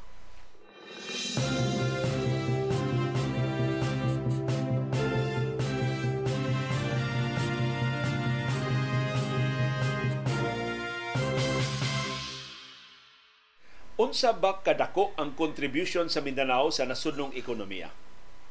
Kay ang Mindanao mo kinadak-an nga isla sa tibok Pilipinas. Unsa may iyang economic contribution ngadto sa atong national economy? Unsa may iyang tampo sa atong nasudnong ekonomiya? Mao ni in real in in in, in cold figures. Mao ni ang mga numero. As of 2022 kini mao mga figures 17% sa gross domestic product sa Pilipinas gikan sa Mindanao. Kung sa ganin ang gross domestic product, mo nang kinatibuk-an natong kita isip nason. So mo og tindahan pa na mo ni kinatibuk-an natong halin sa tibok tuig. Ang gross domestic product GDP 17% ana gikan sa Mindanao. Sa ato pa almost one-fifth sa kita sa tibok Pilipinas gikan sa Mindanao. That is very significant Ikaduha, 23% sa rice supply sa Pilipinas gikan sa Mindanao. More than one-fifth, almost one-fourth sa atong supply sa bugas sumay gikan sa Mindanao. That is a very significant number. Ikatulo, 80% sa atong sa pipila ka mga agricultural products gikan sa Mindanao. So, tambok ay nang yuta sa Mindanao. Anong gitawag na Mindanao land of promise 80% sa itong mga pinya gikan sa Mindanao. 80% sa itong kape gikan sa Mindanao. 80% sa atong saging gikan sa Mindanao. Nilingiga sa Mindanao, ha? Kapin 50% sa atong lubi gikan sa Mindanao. Kapin 50% sa atong bugas mais gikan sa Mindanao. Ang Mindanao mo sa labing adunahan atong tinubdan sa Bulawan, nickel o ubang minerales. So dako kayong kawadon sa nasudnong ekonomiya kung simbako mubuwag ang Mindanao gikan sa Republika. Pero kana magpahinomdom sa nato unsa ka unfair ang national government ngadto sa Mindanao. Di lang sa Mindanao hasta nato sa Visayas. Di lang sa Mindanao Visayas hasta sa balance of Luzon kay ang atensyon sa national government sud sa daghan ng mga pamunuan naara sa Metro Manila. Karon gipalapdan og jutay naa sa Mega Manila. Nataligaman ang mga probinsya outside Metro Manila kay naa nila tanan diyan nating ang tanang mga higanting infrastruktura. Ang kinadak ang kwarta na ibubo sa Metro Manila. Di lang Mindanao, hasta Visayas napasagdan ikumpara ra ni ato mga taytayan, kumpara ra ang ato mga road network dinhi sa Subo, sa Bohol, Kabisayan ug Mindanao kumpara sa mga road network dito sa Manila nagsapaw-sapaw ng ilang mga daan na sila subway na sila overpass pertindagkuan ng ilang mga skyways tungod kay ang atensyon sa national government to as Metro Manila napasagdan ang ubang bahin sa Pilipinas. Unsa ulo pag-explicar? si Duterte taga Mindanao. Yet sa unom katuig niyang termino, pila ra ang pisik sa mga proyekto sa Mindanao. Tingali mas daghan ang mga proyekto na bubo dito sa Davao, pero di gihapon sa makadaghan sa mga proyekto dito sa Metro Manila. Katapusan na itong presidenteng Sugbuanon si Don Sergio Osmeña. Kung may nahimo ni Don Sergio sa Manila, ah, sa Subo. Kung may dagko ka mga proyektong Don Sergio sa Subo. Diyan na presidente si Diosdado, no, si Carlos Garcia, taga Bohol. Diyon sa may proyektong Carlos Garcia's Bohol. Wa man gani mahingpit ang circumferential road. Ang circumferential road sa Bohol nahingpit sa panahon ni Erico Omintado. Sa siya pa'y gobernador sa Bohol. Gi tabangan siya ni kanhi Cebu City Mayor Tami Osmeña unsaon pagdisenyo ang proyekto aron makakuha siya funding gikan sa South Korea ug naitsura yun ang circumferential road sa Bohol. So nga bisan kung doon ay mga presidente nga dili taga Metro Manila, Metro Manila manggihapon mo ay mabuhong sa ilang administrasyon. Ang kanang maong katinawan ako nakuha gikan ni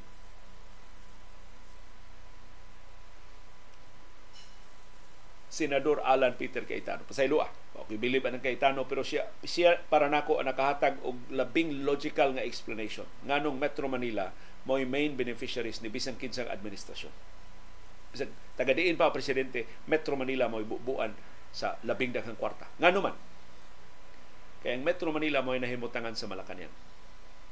Ang Metro Manila mo nahimutangan sa House of Representatives. Ang Metro Manila mo nahimutangan sa Senado ang Metro Manila mo nahimutangan sa Korte Suprema. Ang Metro Manila mo nahimutangan sa Commission on Audit. Ang Metro Manila mo nahimutangan sa Department of Budget and Management. Ang Metro Manila mo nahimutangan sa Department of Finance. Ang Metro Manila mo nahimutangan sa Department of Tourism. Ang Metro Manila mo nahimutangan sa Department of Public Works and Highways. Ang Metro Manila mo nahimutangan sa Department of Transportation. Ang Metro Manila mo nahimutangan sa Department of Education.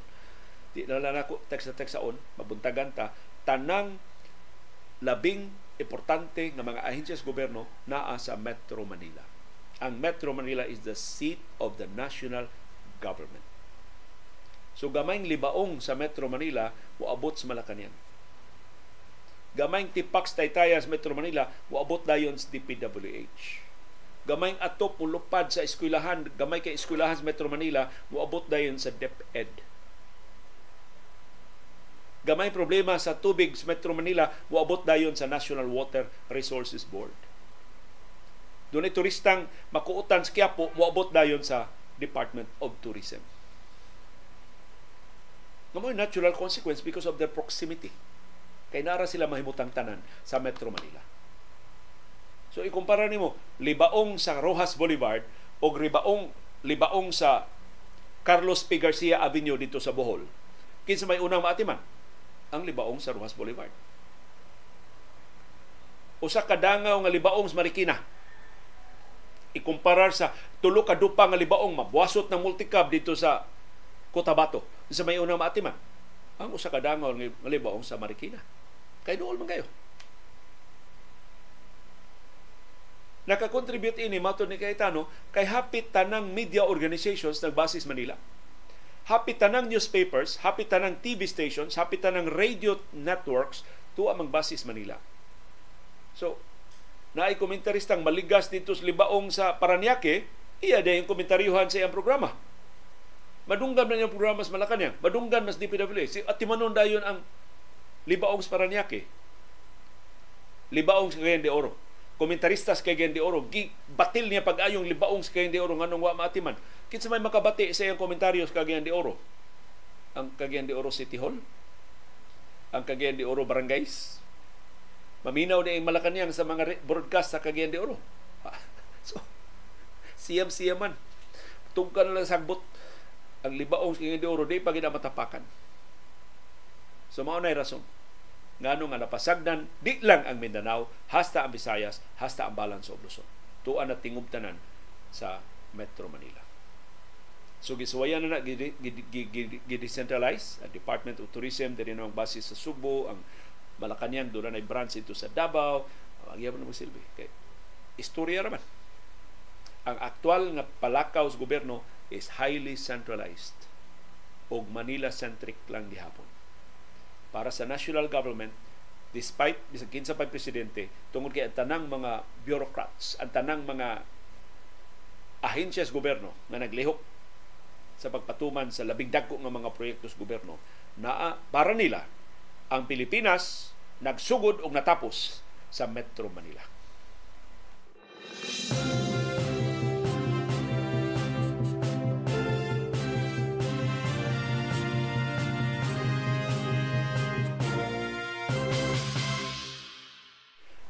ug dunay mas daghang mga sakop sa media na ka-interview ni Kanhi Davao Death Squad operative nga si Arturo Las Cañas retirado siya nga Davao Senior Police Officer.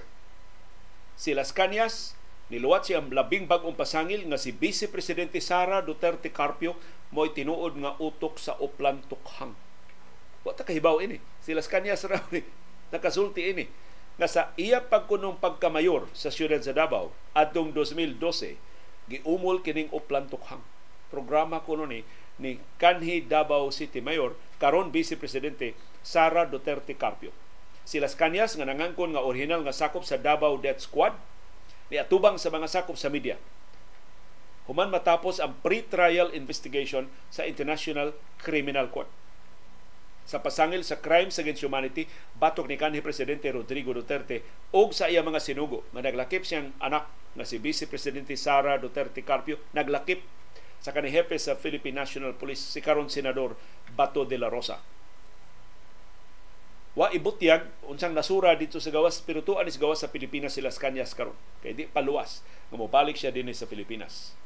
Mato ni Las Cañas iyan ang nasumiter ngadto sa International Criminal Court ang 186 ka pages niya nga affidavit na nakaron sa mga prosecutors sa International Criminal Court na appeal sa iyang 186 ka pahina nga affidavit ang kasayuran sa laktod nga pinatyanay nga gipasugdahan ni kanhi presidente Rodrigo Duterte og naglambigit sa iyang anak na karon mao ang vice presidente sa extrajudicial killings dito sa siyudad sa Davao. Mato ni Las Cañas, si Sara ang pasimuno nitong Uplan Tukhang nung nakaupo siya as mayor noong 2012. Inappoint niya si Bato de la Rosa as Chief of Police ng Davao City. So si Sara di minitudlo ni Bato na hepe sa kapulisan sa Davao atong 2012. Sinabi sa akin ni Bato de la Rosa na nag-craft sila ng panibago ngayong extrajudicial killing na campaign against illegal drugs which is Tok Hangyo or Tokhang. So nangangkos de la Rosa nga iya ning Tokhang, mato ni Las Cañas dili gisugo ra na siya ni kanhi mayor karon VP Sara Duterte Carpio mga target personality sa illegal drugs, lalo pa ang mga gumagamit ng shabu at nagbebenta, sabi niya, kidnapin ninyo, ilubog ninyo ang target, parang kaso missing person lang. So, dagiton, unya ilubong, murag missing lang. Di makita ang pating lawas. Nya kasagaran sa ilang lugnanan kanang ilang quarry diya sa Davao City. Gitawag nila og killing field sa Davao City kanang gitawag og laud quarry nganong gitaw ginganla naglaud quarry kay ang tag-iya na si kan, si police officer laud sakop sa Davao City Police sa laud quarry lang po sa estimate ko lang mayroon pong more or less 3,000 Grabe ano? 3,000 ka mga pateng lawas ang gidamok diya sa laud quarry. Pero ang total damage na napatay sa Davao City, yung nakita at saka yung missing, more or less 10,000. Iyan ang estimate. Kasi sila nagsugod sa Davao Death Squad. 10,000. Ang tanan nila na patay sa Davao. Ang 3,000 na ilubong sa Laud Quarry. Mato ni Las Cañas, wa ni labot sa lakton nga pinitianay sa Tibok, Pilipinas, yang na presidente na si Rodrigo Duterte. Gawa siyang affidavit nga 186 pages, bagaa mo naglibro ang affidavit ni Las Cañas, ni sumiter sab siya og notebook na siya notebook na ebidensya ngadto sa ICC ang notebook naa ang tanang kasayuran nga iyang sa iyang nahibaw-an sa mga pinatyanay. So specific nga mga patay unsay armas nga gigamit unsay papel ni kanhi presidente Rodrigo Duterte igo ba siya ni sugo o siya gyud nagkablit sa gato pagpatay sa mga biktima ug uban pa mga pasangil. Naglakip sab sa kasayuran sa kalambigitan ni Vice Presidente Sara Duterte Carpio sa pinatyanay. Apil sab ang kalambigitan ni Kongresista Paulo Pulong Duterte sa lakton nga pinatyanay diya sa Davao. Ingon man sa Anti-Crime Task Forces nga gitukod sa siyudad sa Davao. Gipasangin lang sab ni Las Cañas si kanhi presidente Rodrigo Duterte nga nagduma og Shabu Laboratory diya sa Davao Region. Iyan naman ning nabutyag o ato na ning naisgutan pero iyan ang gisgutag balik atubangan sa mga sakop sa media. Mato ni Las Cañas kanang nahibaw-an nga doon siya pila to 400 ka mga armas ingol sa Las Cañas kapina usa ka libo ka mga armas ang gihuptan ni Duterte. Mayoriya way permiso, way lisensya, wa kahibaw-an ang kapolisan. Niluloko mo mga Pilipino anong ginawa mo? Drug war? Anong drug war? Ikaw ang drug lord pinapatay niya sa grupo namin ni SPO4 Ben Laud yung 11 Chinese workers and chemist ng Davao Shabu Lab at ng Barangay Obrero. Mao ni si mao ni ang tag-iya sa Laud Quarry, SPO4 Ben Laud. Nga girunda kun ospideya ang usa ka Shabu laboratory nadakpan ning 11 ka mga Chinese workers ug ang chemist hadlok Duterte mo piyait ang mga Chinese siya itudlo nga may tag-iya sa Shabu Laboratory gipapatay niyan tanan nga mga Chinese workers. Si Mayor Duterte ang in charge dito sa Southern Mindanao dito sa mga Shabu Laboratory. Ang Northern Mindanao kang Mayor Paruhinog katong gipatay sa mga mayor sa Osamis. Ang gun collection ni Mayor Duterte during my time more than 1,000. Galing po ito kay Kibuloy ang mga armas ni Duterte gikan ni Kibuloy. Nagbiyabiyahe si Kibuloy dala yung eroplano ni Duterte sa Amerika, nagdala na ng spare parts, mga silencer, mga bala at mga parts ng armas. So dili ni armas ang gidadin ni mga spare parts, mga chop-chop ng mga kabahin sa armas diri nag-assemble sa Davao. Nilingig ha, kanus sa man ni Kibuloy ni sakay sa presidential plane. Kanus sa mas Duterte, wa man mo atos Duterte sa Estados Unidos. Kay hadlo mo siya dakpon dito sa Estados Unidos. So, unsa man ning aeroplanuhan ni Duterte gisakyan ni Kibuloy. Ato ni si Kibuloy mo na aeroplano nga iyang gipasakyan ni kanhi presidente Rodrigo Duterte. In fact, aeroplano ni Kibuloy gisakmit sa US Customs mo tong nakita ang daghan kaayo mga dollars nga iyang gi daway pananghid. Pasangin lang sa ni Las Cañas si Senador Bato de la Rosa o Senador Bongo nga nahilambigit sa mao'y tigsugo sa Davao Death Squad. Mato ni Las Cañas kini si Go sa wa pa ni itudlo ni Duterte isip yung special assistant to the president mangulikta og personal nga mga identification data gikan ni Mr. Di Guzman na mo iyang contact sa Land Transportation Office sa siyudad sa Davao. Apil ko detalye nga ilang gikolekta mao ang home address o ang type of vehicle sa mga biktima sa di pa nila tirahan. Kadaghag kasayuran ining Arturo Las Cañas manghinaota maggamit o mapuslan ning tanan sa investigasyon sa International Criminal Court ug makadisog ni bisag way klaro ang baruganan mutabang ba o dili ang administrasyon ni presidente Ferdinand Marcos Jr. sa ICC.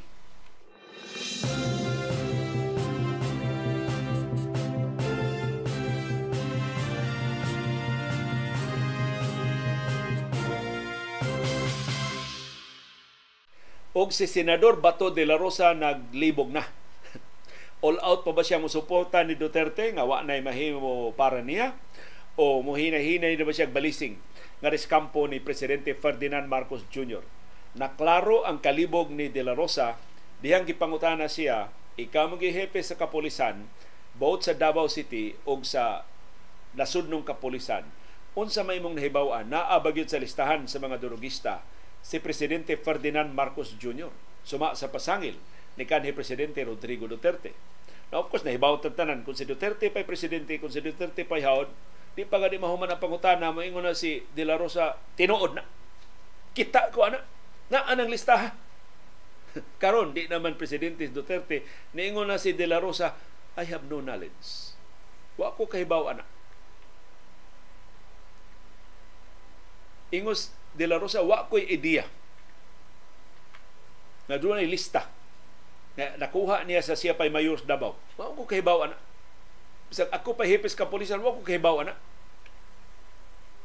He's the mayor, I am the city director. I didn't care about other people and other places. So I don't know about that. so niingon, niingon De La Rosa, hipi raman ko sa kapulisan sa Davao, ang ako nag attention Davao ra. Kung na siya lista about other places, wala ko ilabot ana. Davao ra may akong jurisdiction isip hepe sa kapulisan sa Davao. Akong hubad ini, wa na De Rosa na niguro nag iya. Kay parang De La Rosa, oh, senador ko, former president siya. Makada August 2025, I, I have another six years. Siya, pila naman na tuig na bilin ang tatay Digong kung na siya mapriso sa ICC. Maapsan siya siyang edad. Ako, daghang pa kay kog batanon nga mga apo, maniguro kog ako eh.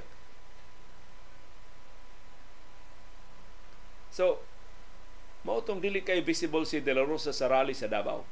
Part na ba to? Sa ilang pag distansya ni kanhi presidente Rodrigo Duterte.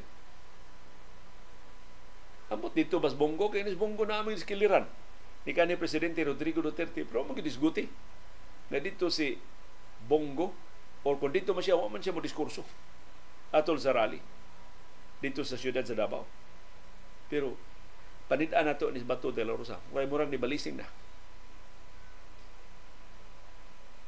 Di ka ka-imagine ni Bato de la Rosa mo ingon wa kahibaw anang Esposé Duterte. Iya ginang dasunan. Kay luya, Duterte ba yung nakapasenador niya? So, na istorya nako kini negosyante buongon kanang nindot kay buongos Davao kanang himalitan kay dinhi Subo ako nang naistorya, naistorya ang, ang negosyante. Ingon siya, ang nakapadaog ko ni Bongo, kanang iya buungon. Kay, si Duterte gigunan ni ingon niya, kaning buungon, kanang duol sa pungango butang sticker di Bongo para sa di pa mapanit na imo buongo naglaway na amo panit ana kay piting lamia makita nila sticker ni Bongo butar sila Bongo so mo sa ilang analysis sa amot komedya ba o tinuray ba at least nakatabang sa kadaugan ni Bongo ang katong sa buongon na sticker sa buongon sus ipadagan man sa si Bato de la Rosa So nihangyo sa bato, ibutang sa kuda sa imo buongon. Nanangin siya, Mr. President, sa mas sticker ako ibutang kang bato o kang bunggo sa akong buongon. Ingon si Duterte, diin ganito na ibutang ang sticker ni bunggo, nas pungango, ang bato ibutang dito sa luyo. dito dito sa luyo buongon, ato ibutang ang sticker ni bato. Daog lang gyapon. Si Bato de la Rosa So si Duterte mo nakapadaog ining duha ka questionable wa gani ni mga barangay kapitan sa mga abilidad ini klaro mang wa ni sila ayo dia senado mas ngilngay lag writers na alay writer siya mag diskurso si Bongo si Bato de la Rosa wa klaro si Duterte mo nakapa taak nila sa Senado pero karon si Bato o si Bongo nagtan-aw na murag mas makatabang sa Marcos na moda. So ato panidad. Magsige naman sila og paduol ni Marcos, magpadayon man sila pagdistansya ni kanhi presidente Rodrigo Duterte. Wa sila kalainan sa uban pa mga politiko sa Pilipinas na adto mo paduol sa puntil sa Sudanan sa kwarta.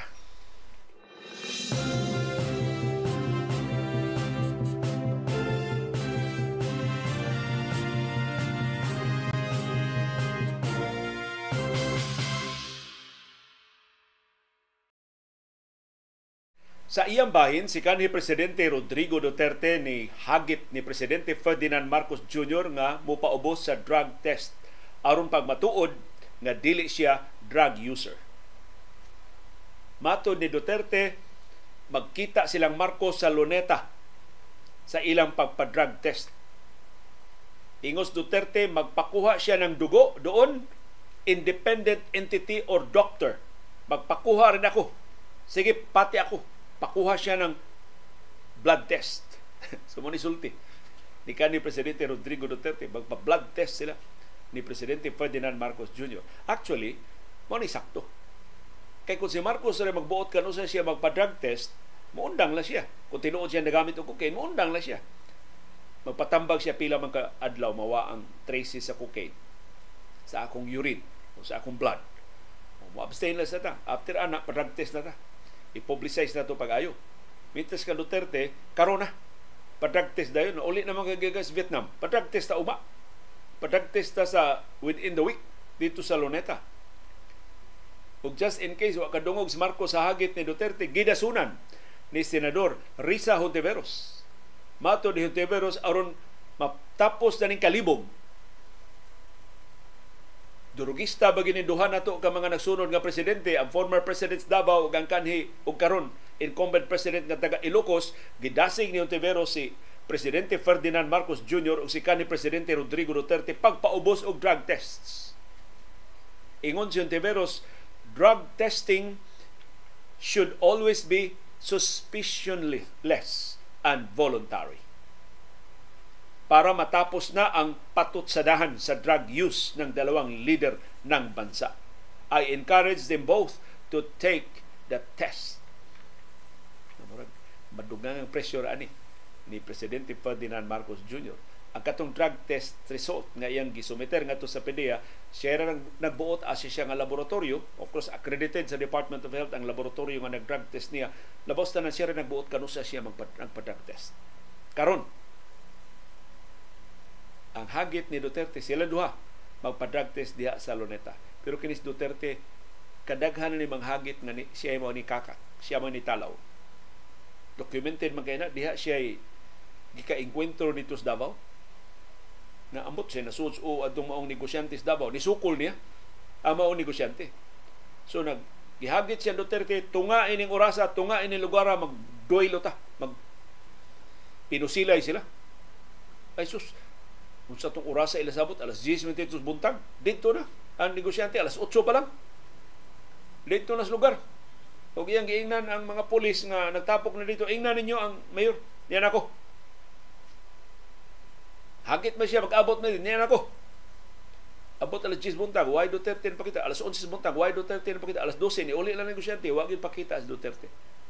So kinis Duterte, typical ni nga bully.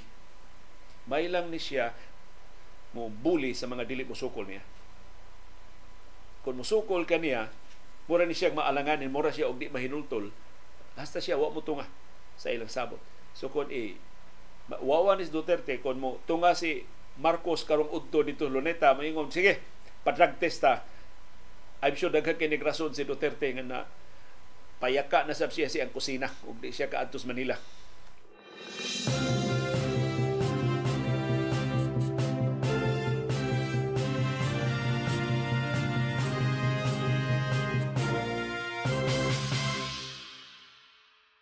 Samtang si Vice Presidente Sara Duterte Carpio naasab sa kalibog. Ang iyang pamilya all out na na nakig-away ni Presidente Ferdinand Marcos Jr. Giparisay na siyang manghod na si Baste Duterte si Presidente Marcos. Gitawag ng bangag o adik sa cocaine sa iyang amahan si Presidente Ferdinand Marcos Jr. Pero doon na pa'y lima katuig nga nahibilin siya termino or upat ka tuig nga nahibilin siya termino. 2024, lang termino matapos 2028 pa, anugod sang upat ka tuig nga nahibilin siya termino. So kinahanglan siya magpapaparts ni Presidente Ferdinand Marcos Jr. O si Marcos, lahi ni First Lady Lisa Araneta Marcos nga wa na managad niya, lahi ni House Speaker Martin Romualdez nga digukod na niya, si Marcos BFF lang gihapon niya siya gihapon gidesignate nga caretaker atol siya biyahe dito sa Vietnam for two days. So para ni Sara, sustinihan na niya. Mula hutay lang siya din sa gabinete ni Presidente Ferdinand Marcos Jr.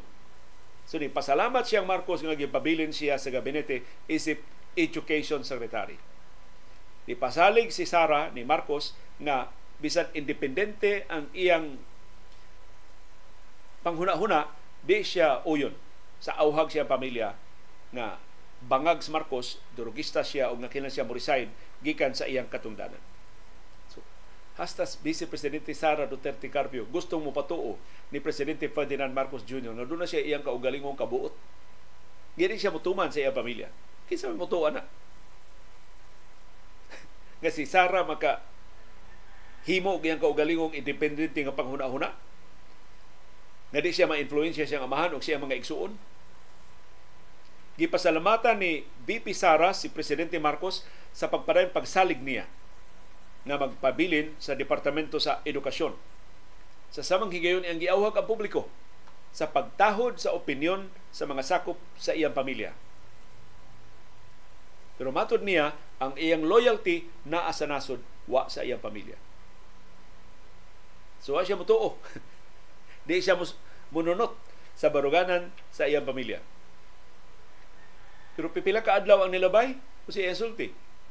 I will always support my father. I will always support the causes of my father. Karon wa nilami iyang father kay nitawag na sa presidente nga bangag. Unya nakilala siya sa presidente aron magpabilin siya sa gabinete. Aron do na pa siya semblance of power. Kay kung mawa siya sa gabinete, mawa siya sa hingpit murag kung tuuhan ang ilang mga public statements si Marcos o si Sara na lang mo'y nagtuo nga naapay unit team. Ang mga sakop ni Marcos all out war na ang mga Duterte all out war na gawas nila duha. Sila na lang. May ni silang manganta silang duha nga you and me against the world. Pero kahibaw mga pakaron ingnon ning tanan. Kanang lakang ni Lisa, doon na ni approval ni Marcos. Tuo mo nga. Wa ginibuot ang presidente nga. Wa gin siya kalibutan sa gihimo siyang asawa. Kinsa gipanudlo kinsa ilang gipangaway. Nagtuo mo nga si Marcos way labot ang mga away ni Martin Romualdez. na nagbuot-buot rin Martin Romualdez paglusad ang People's Initiative without the blessings of the President. Na, na tanan, ilan ning duwa tanan. Pero aron doon na siya degree of deniability, magpa guryo-guryo kuno hay siya. Ha? Nada mo PI? Pila ba bayad ito? Ha? Nangaway din ako asawa? Uy, darling, concert na concert oh. Unmissable ng konserta. Kasi may matuo ko siya labot. Ni mga binuang siyang administrasyon. Ila ning salida tanan. Pagpagoryo-goryo lang ang presidente. Nakaton si Sara, all out war ng iyang pamilya, gibalikas na nila si Marcos o ang iyang mga hinanib, pero Sara napagorya-gorya sa Uy, ako'y kalibutan, ako'y labutan ng baruganan sa kong pamilya. BFF lang yan po ta, Mr. President. Sumato ni Sara, nagpapasalamat din ako kay Apo BBM sa kanyang paggalang sa aking mga paninindigan. Katulad na lang ng aking pagtutol sa pera kapalit ang perma sa People's Initiative dahil insulto ito sa kahirapan ng ating mga mamamayan at paglabag sa kanilang karapatang magpasya ng malaya. Sinihirit pa siya. Salamat ko nung gitahod ni Marcos ang iyang baruganan batok sa pagpanuborno, pagpanguliktag perma sa People's Initiative Niauhag siya sa mga Pilipino, tahura sab ang opinion sa mga sakop sa akong pamilya. May respeto ako sa mga pananaw at opinion ni dating Pangulong Rodrigo Duterte, pati ng aking kapatid, katulad ng posisyon ko sa maraming mga isyu, hindi kailangan na sumasang-ayon ako sa lahat ng mga ito. Pinalaki ako ng aking mga magulang na may pagpapahalaga sa malayang pag-iisip at, at pagpapasya para sa akin, laging nangunguna ang katapatan ko sa paglilingkod sa bayan. Ayaw mo kabalaka, dili ko uyon anak nga parisayno na presidente kay napami 4 years. Dili ko mo dason ang pasangil nga bangag ang presidente, bahala ko sa di makadimaw yang sinultihan kay gikinahanglan pa nako ang akong cabinet post kaysa mapariha kong Lenny Robredo. May to Lenny Robredo daghang kay supporter sa private sector. Ako dira ba ko kamao mo network sa private sector unsa man akong mahimo sa nahibiling upat ka tuig sa akong termino.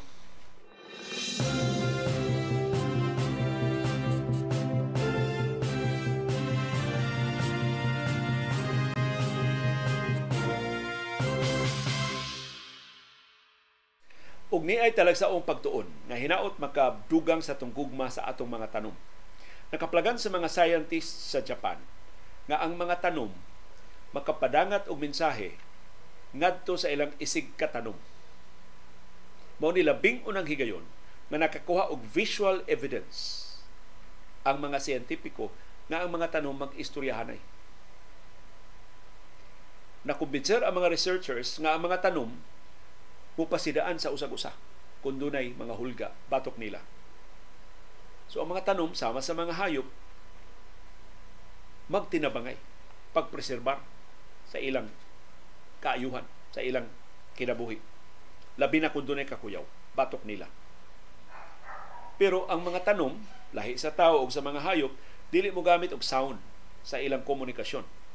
Ang ilang gigamit mga chemicals nga ilang gi-transmit sa kahanginan ug kini kuno mao mga chemicals nga ilang i-transmit ang humot ini ang aluminum ini mura og sagbot nga bag-ong giputol di ba sahay maka aluminum tag murag sagbot nga bag-ong giputol bisag buhay giputol nga sagbot sa atong palibot mao din ni komunikasyon din ng mga tanom sa usag-usa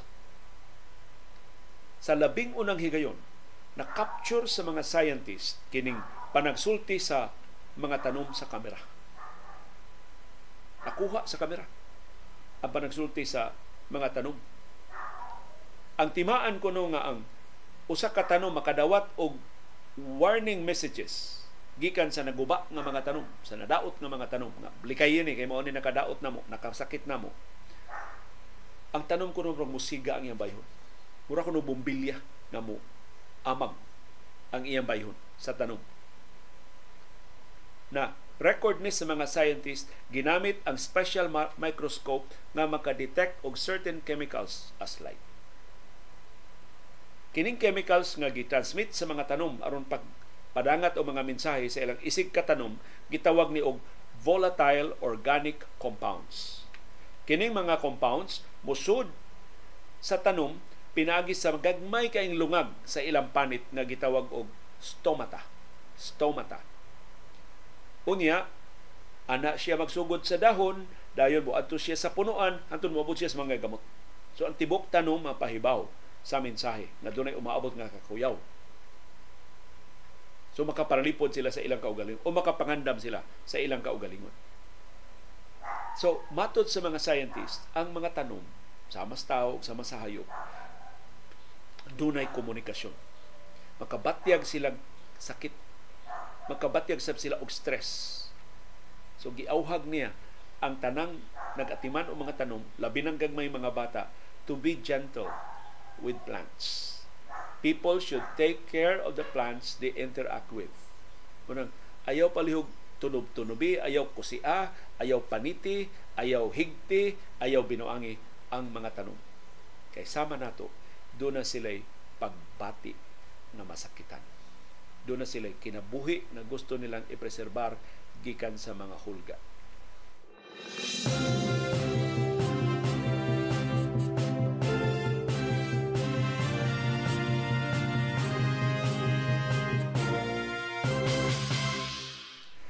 Og nahumana ang semi-finals sa PBA Commissioner's Cup pinaagi sa kadaugan sa Magnolia Hotshots batok sa seryoso kayong hulga sa Phoenix. Ilang gipildi ang Phoenix sa Game 4 sa ilang semi-final round 89-79. Og gihawanan na ang ilang pagsud sa finals batok sa nagpaabot na nga sister team nila ang San Miguel Beer. Kay maura man ni Magnolia og San Miguel og Ginebra si Ramon Angre tag iya ni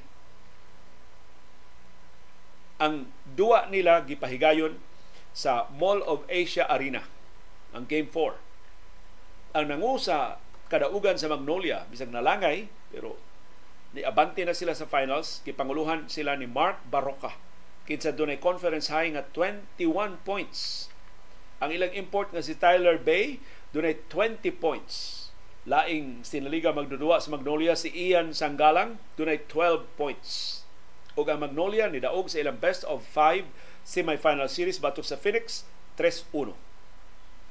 Napili sila kausara.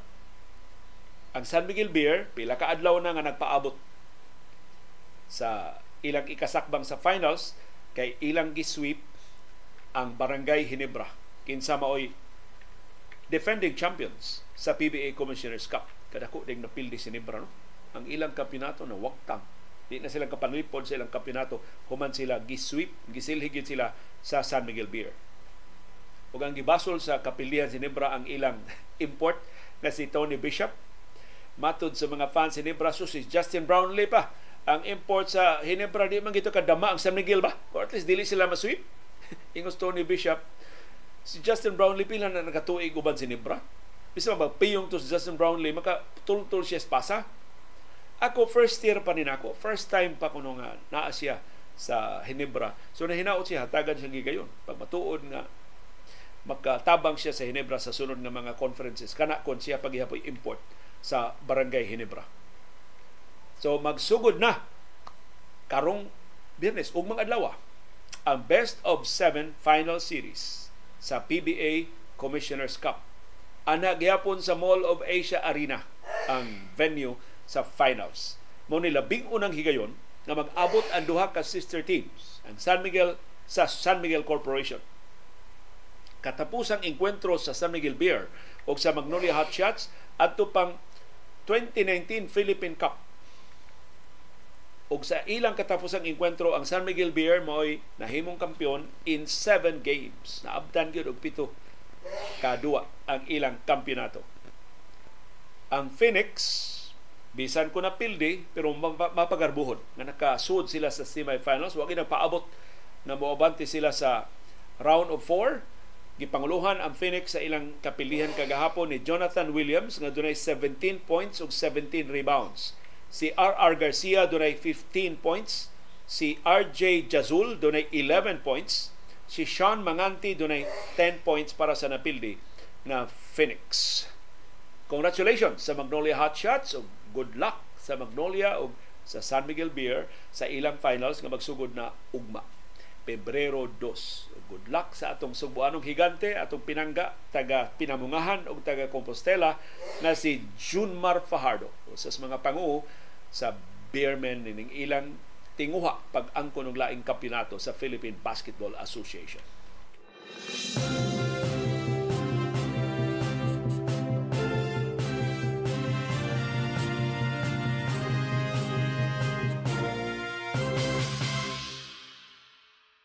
Dunay lain na to viewer nga nag-birthday karong karong adlaw mo greet ko og happy fourth birthday sa akong apo nga si Akim Alonso Cabando Abindan. Gikan na ni Sir Doming Cabando diya sa Barangay Dumlog sa siyudad sa Talisay.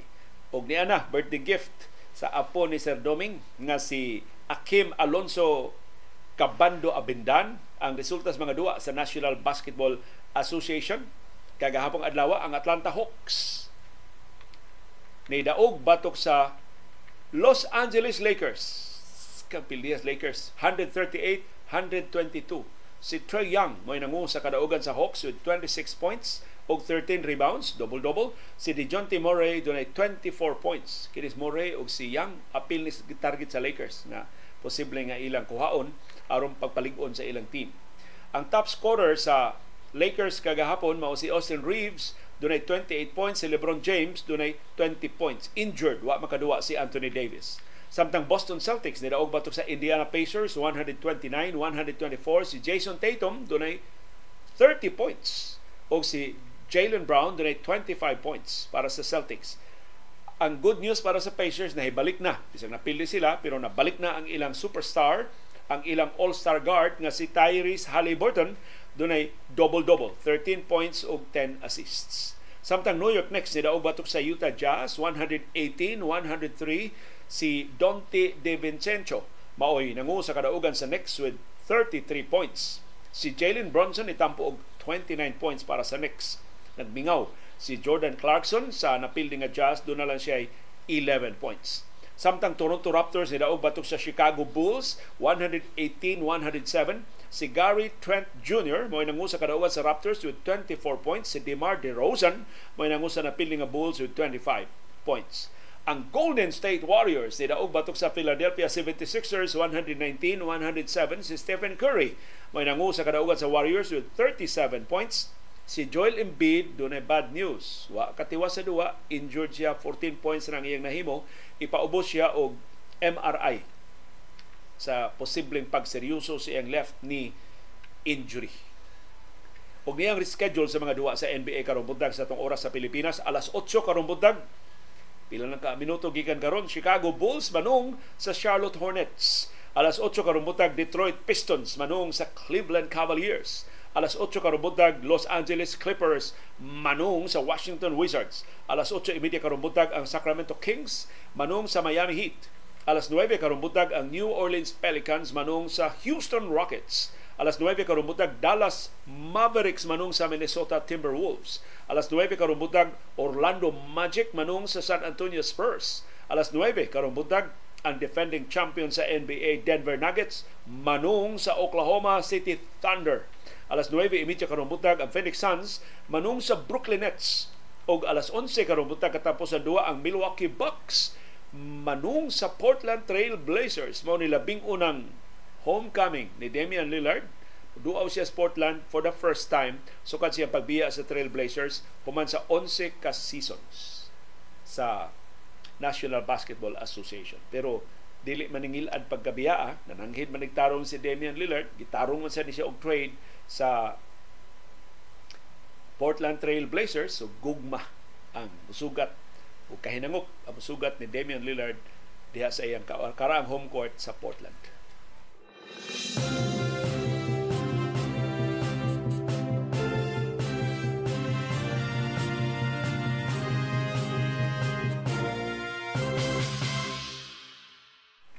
ug niya ang mga top jersey sellers sa National Basketball Association.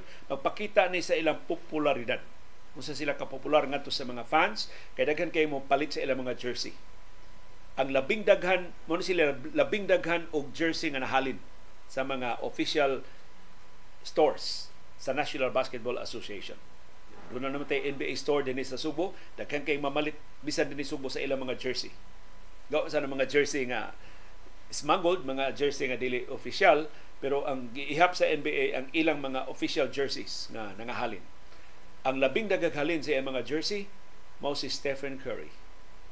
Number two, si Stephen Curry sa Golden State Warriors. So bisan si Curry ni bahar ng iyang duwa, wa na in siya maapil sa All-Star game, di na siya starter, pero siya labing popular sa jersey sales sa tibok NBA.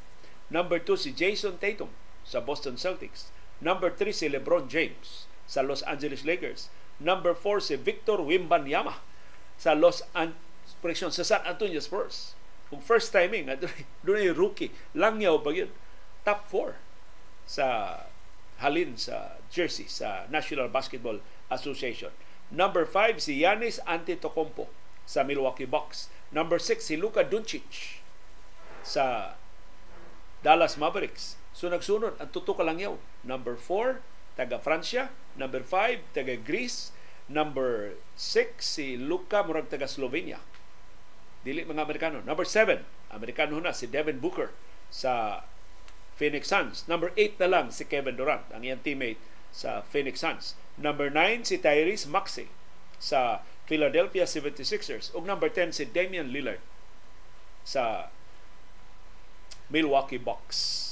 Wa ma-appeal si Nikola Jokic. Wa ma-appeal si Joel Embiid. Na mga legitimate nga mga super si Clay Thompson wa na ma-appeal sa top 10. Top 10 kini sa mga of course naghihapon na malit sila mga jersey pero dili sila top 10.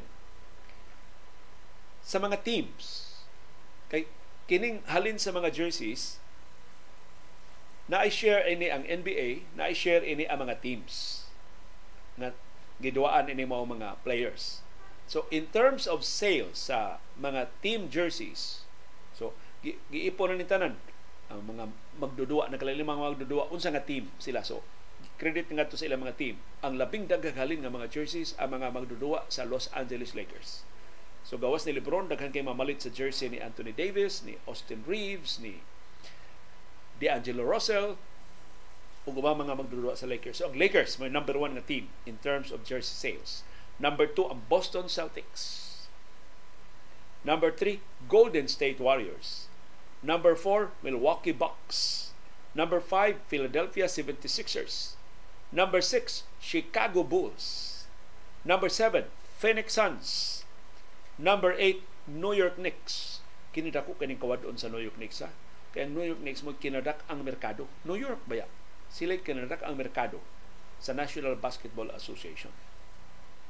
Pero napil din na sila. Karon ang in terms of value sa valuation sa mga teams, I think ang number one mao ang Golden State Warriors. Tungkol sa sunod-sunod lang nga mga kampiyonato. I don't know karon nga bahar ang duwa sa Warriors kung magpabilin ba ang ilang taas nga valuation. Pero ang New York Knicks, siya biggest market number 8 na siya sa jersey sales. Number 9, pero ang New York, posible mo balik niya, usulbong, tungkol sa maing duwa ni Jalen Bronson. Labi nang makabalik na to, seryoso na bang injury kay na gisi yung abaga ni Julius Randle.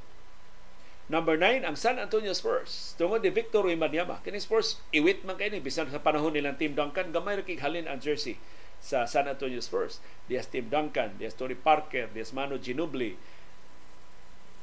daghan kay itong mga superstars ang San Antonio Spurs pero karon pa ni ang Spurs nasud sa top 10 tungod ni Victor Wembanyama. Daghan jud kay interested, daghan kay excited ining French teenager. Ug ang number 10 mao ang Dallas Mavericks.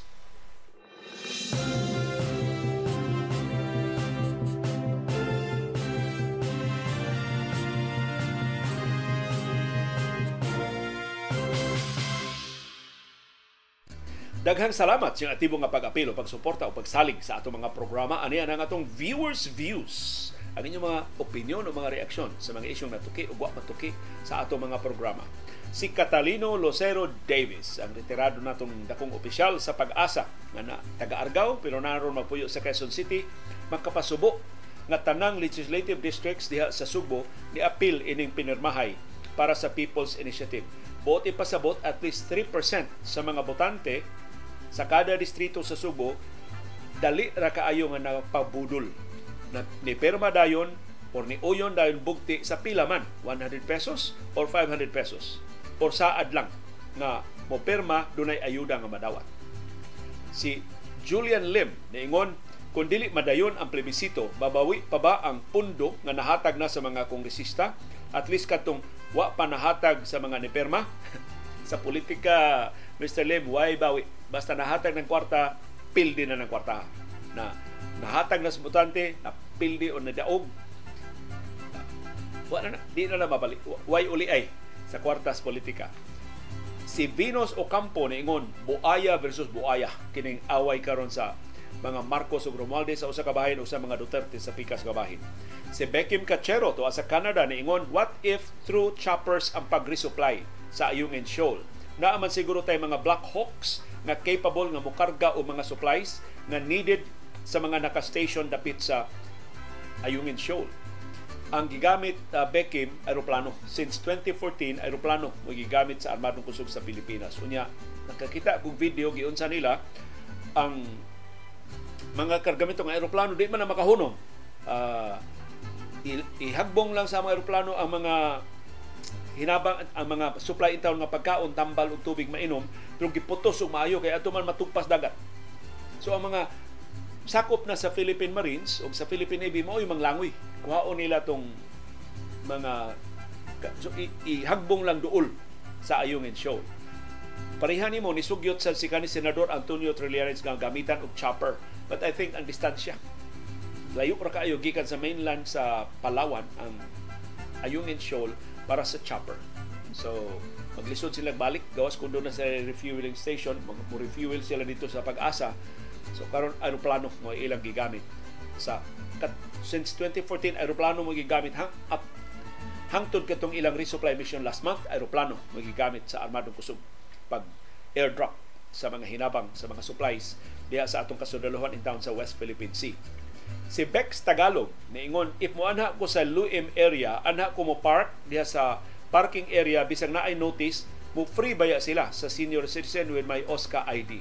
So bisan kuno katuning diha tay viewer nga niingon nga dunay sign na no exemption bayad tanan ipakita ko ng OSCA ID exempted ang mga senior citizens for the first 3 hours si D. Buster naminaw sa itong panahon dayong kilom-kilom. Kagahapon sa hugas sa plato siya natandog ko sa imong mensahe sa uwahing bahin sa imong hugas sa plato. Ang kadaghanan nato mga trabahante nga nagsaliglang sa madawat nga sweldo aron duna kitay mabutang nga pagkaon sa lamesa nagkugi sayo mo mata. Agwantahon ang traffic og kainit og overtime pa subo lang nga palandungon nga gipahimuslan lang sa atong mga ang atong kahago sa mga dagkong negosyante o kompanya bisan nituman pa sila sa minimum wage law pero nahibaw ta nga kuwang ra gihapon kini. Mga negosyante rapod ang nidiktar sa mga naa sa gobyerno nga mo limit sa minimum wage nga madawat sa mga trabahante. Hinaut mga negosyante makarealize mo na labor is priceless. Labor is a divine gift so kung inyong baratilyuhon ang inyong mga mamumuo murag inyong gibaratilyo ang Ginoo si Luke niingon no matter unsa ka ubos o ka-simple ang trabaho kung maayo nato pagkabuhat doon natay pride sa atong accomplishment. Mao na akong ipahimangno sa mga helpers o sa akong mga pag-umangkon nga ayuhon gyud ang trabaho bisan unsa ka gamay in a way makapasigarbo ta sa resulta. Si Catalino Lucero Davis niingon diris amo automatic gyud nga ako ang muhugas sa plato kay si Mrs. man ang tigluto. Mo na parihat kahimtang Mr. Uh, administrator, deputy administrator ni siya sa pag-asa karon tig hugas plato yes Quezon City. Si Mildred Campaner niingon karon og na special nga okasyon ideal gyud ang paper plates aron wa nay hugason. Si Julieta Umpad niingon unahon akong hugas ang mga baso etc. una ang mga mantikaon. Kas kog dishwashing kay di ko gusto na apay baho o mantika kay ang ulmigas mo malipay Si Beb Alquisola ningon ang frying pan nga Messi akong butangan og gamay nga tubig. Let it boil aron ang dukot matangtang. Mao na iya sa paghugas. Usa na to ka viewer ningon diri Germany na siya ko unsa ka usikan sila kung mogamit sa ilang dishwashing liquid. Siguro barato ra kaayo para nila ang dishwashing liquid kay dagko man silang sweldo. Ibutang nila sa kitchen sink ang mga hugasan, paapawan nilang tubig ug hapit tag sa katasa ang isagol nga dishwashing liquid sa tubig. Dili spongha o foam ang ilang gamiton kundi brush nga taas ug handle mo ilang ikuskus sa plato ug uban nga mga hugason. Human og waswas og drain sa tubig dili nila huwaton nga muuga. Trapuhan nila og panapton while basa pa unya i-rearrange ni i-arrange nila sa cabinet or sa platera kung pasagdan ra kuno nga muuga ang mga gamit human sa paghugas labi na ang mga clear nga baso o plato na kuno ni mo kuno ni rason sa scaling. Kanang magputi-puti madugay og dili matangtang. Si Bibing Iglo kadaghan natong nakatunan sa atong hugas plato. Daghang salamat sa inyong tampo. Si Bibing Iglo niingon sus kanang hugas sa plato gubot kay na diri sa among bahay. Kay akong igsuon og mga igagaw di ganahan manghugas sa ilang kinanan Si Imelda Fernandez Olaer ingon, akong anak nga laki iyag yung ilain ang mantikaon, humulan niya og dishwashing liquid, pataw-tauran niya una hugasan. O kung sibuhon jud kaayo bubuag init tubig, dali ra mawa ang sibo. Di na kaayo kas sa dishwashing liquid. Bitaw di sad ta mauwaw naapod tay nahimo nga natampo pod sa atong buluhaton isip alagad na lang nila nga wa na ko'y trabaho nag-atiman na lang ko sa pamilya. Si Maria Teresa Agbo ingon, unahon ako andi mantikaon, hugasan unahon sabon, ah, sabunan ako ang baso, estilo nako sa di pa nako hugasan ang matikaon, hugasan ako humulan og init nga tubig. Mao mawa dayon ang dangog sa mantika. Si Leonardo Casas ingon, akong late wife kay nabiyudo naman ni si Leonardo Casas, mao'y akong mentor kung maghisgot na taghugas sa kinanan. Basic dapat kitang tanan ka mao hugas. Yes, very fulfilling kay naay transfer of learning. Kay ang among bugtong anak nga lalaki kamao naman pud manghugas. Ang akong paagi unahon akong sabon ang baso, kutsara ug tinidor. Unya dayon ang plato. Dayon waswasan og tubig sa laboratory, unya ipato usa i-arrange sa butanganan. Unya usa na usa usa nako sabunan ang kaha ug kaldero pero lahi na sponge lahi nga foam akong gamiton kay mas oily man siya. So buwag ko niya, dili kadtong na siya buwag nga panghugas para sa matikaon. Laing viewer nato ningon mapasalmaton ko sa Ginoo every time na ako'y mahimong trabaho sa bahay sama sa paglaba, paglimpyo sa banyo, pagluto, gihatagan kog kusog ug kabaskog sa lawas, anugnan ko sa adlaw nga wa ko'y mahimong nga trabaho. Lain natong viewer ningon tuguti ko muasoy sa akong istorya kabahin sa hugas sa plato kadtong nag OFW nag OFW ko. Kada weekend magtapok-tapok kaming mga Pinoy aron pawa sa among kamingaw sa among mga pamilya. Nangutana nako ang usa namo ka kauban nganong kuno nga ganahan man ko maghugas og plato. Ako siyang giingnan nga ang luwag kutsara og plato maoy nakapabuhi namo dunay karinderya akong mama ug kaming magsuon bisan elementary pa tabang gid mi sa among karinderya hugas sa plato ang akong kasagarang trabaho. Hangtod nga nag high school o college nako padayon ang karinderya sa akong mama. Nahunong na lang kay tiguwang na siya o kami mga anak mga professionals na. Tungod sa among karinderya, nahuman kami sa among pagtuon. Kada hugas nako og plato, ako ning offering o pasalamat sa Ginoo sa grasya sa kinabuhi. Ganito. Si Beckham Cachero na ingon sa pagka-dishwasher ang akong first job diri sa Canada The dish pit is what dishwashers call hell's pit. Pait kay ng trabaho ah. Labi na ko na ay cook or chef kapatuyang lang og gamit sa mga pans or bisag unsa nga kitchen equipment and utensils. Init kaayo ang sud sa dish. Ang inigawas namo during winter, bugnaw sab kaayo. I was doing that for my first year. Kanang oily nga pans, amo ra na tapuhan og paper towel, then i-dip na mo hot water for a few minutes before iagi sa conveyors. Kung kanang lagum nga luyo sa frying pan, scrub na nag-steel scrub or sosa scrub, mura nagbag-o inig kahuman. Daghan, daghan tayong nakatunan sa atong mga uh, viewers. Si Leonardo Casas doon ay laing tampo sa lain natong panahon dahil kilong-kilo mahitungod pa sa bitin. Doon ako tro, trauma sa sawa kay gamay pa ko dihang nitan-aw mi kalingawan sa among lugar kuyog sa among mama galakaw rami unya among suga so ra. So samtang galakaw mi. Dihay dakong sawa manitadlas among agianan dako ug taas kaayo. Kay ingon paa kadako pero kalma rami ni hunong ug among gipasagdan nga molabay unya lain pud nakong experience sa high school pa mi didto mi puyo sa among maguwang diha po diha po sawa nahagbong tungod sa sala nga among higdaanan. Haskang kuyawa jud nako.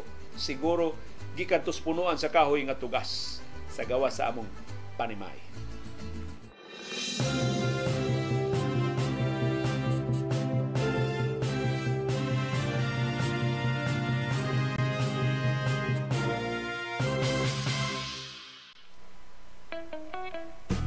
Doon ay daghang matang sa kasayuran. Doon ay kasayurang pinadailang. Dali ra kay mahibawan. Doon ay sa kasayurang gitaguan. Kilumluman ang ayang kuykuyon sa katawhan kasayurang Kinoy ko yan. Wa ko katuo sa akong napaminawan kagabi diskurso sa mga sakop sa pamilyang Duterte sa ilang rally batok sa charter chains dito sa Davao City apil ng ilang pagpamalikas o pagparesign sa incumbent nga presidente.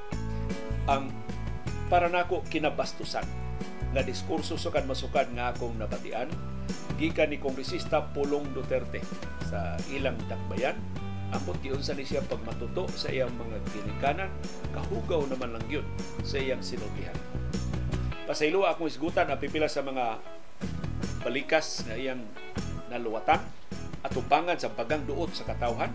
Iya mga tao mismo padlong sa iyang binuang na makpak ug niabiba naman. Mura og gidasig nga pamal pam, pinastos pa diha kay kami mo iganahan Diyang gipasangila ning babae nga kongresista na gusto ko numudagan pagkamayor sa syudad nila. Kaya pasabot kinis ator ni Mix Nograles na usa ka party list nga kongresista. Na di ko no kapaabot og eleksyon gusto mo puli na sa Davao City Hall karon karon dayon. Nagdali gid ko ni siya iyang gitawag ning bayhana nga bigaon. Taro iyang git iyang git kay atol ko sa kampanya bigaon.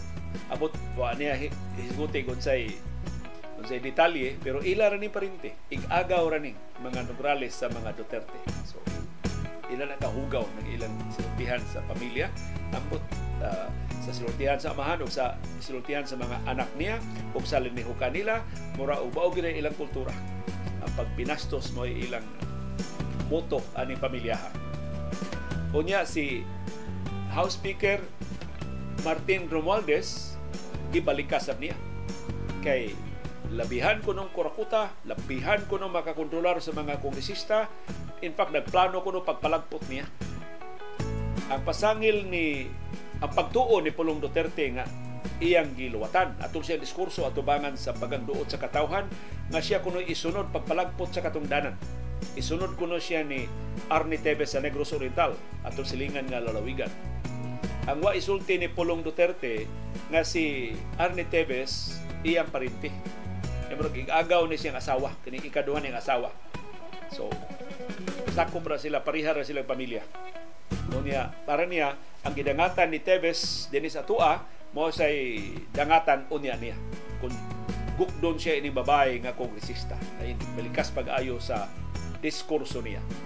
Pero si Romualdez mismo, iyang ginganlan og dili maayo nga nga ato lang lito ko kausa di lato balikan palihog kalimti lang dahil ninyo nga ato ni naluwat lalutan sa kahanginan. Ako lang ning isulti aron makahibaw mo sa kahugawan. Kining pamilyang Duterte sa ilang sinultihan. Si Martin Romualdez gitawag kuno siyang igsuon nga si Sara nga tambaloslos sa social media. Pero ingon si Pulong Duterte ang ilan jud kunong tawag ni Romualdez sud sa ilang panang istorya sa ilang pamilya tambok los-los ni tawhana. Kagrabe na lagi pagagrabe na lagi sinultihan ining pamilya. So maka palandong ka unsa ka nino kung nag-abot ni sila. Kung mag mag-istoryahan na ning tibuok pamilya. Pila ka kabalika sa kada linya. pila ka ka bugal-bugal ang luwatan sa kada istorya nila. O mauning pamilya ha, ang gusto mo padayon pagpangu ining nasura. Kay si Pulong Duterte na sipyat og sulti sa diskurso niya nga posible modagan siya sa Senado kung paaboton pa. Susukuhay siyang pangangkon nga moritero nas politika pero ganahan mag-senador kining pamilya. So, Vice Presidente ni si Sara, mag-senador si Pulong kung mada. Amot saligan pa ba sila sa katawhan ining nabisto nga dagko nilang kahiwian. So, dili lang ang aktual nila nga binuhatan o posibleng mauni ang gigikanan, ang ilang kangilad o sinultihan, ang ilang kabastos o panglantaw sa atong nasod o sa atong katawan. Daghang salamat sa aktibo nga pag-apil o pagsuporta o pagsalig sa atong mga programa ug daghang salamat sa padayon nga pakigbisog pagtugad sa mga implikasyon sa labing mahilungdanon nga mga panghitabo sa atong palibot. Aron kitang tanan makaangkon sa kahigayunan pag umol sa labing gawas nun, labing makiangayon, ug labing ligon nga baruganan. Mao kadto ang among baruganan. Unsay imong baruganan? Daghang salamat sa imong pakiguban.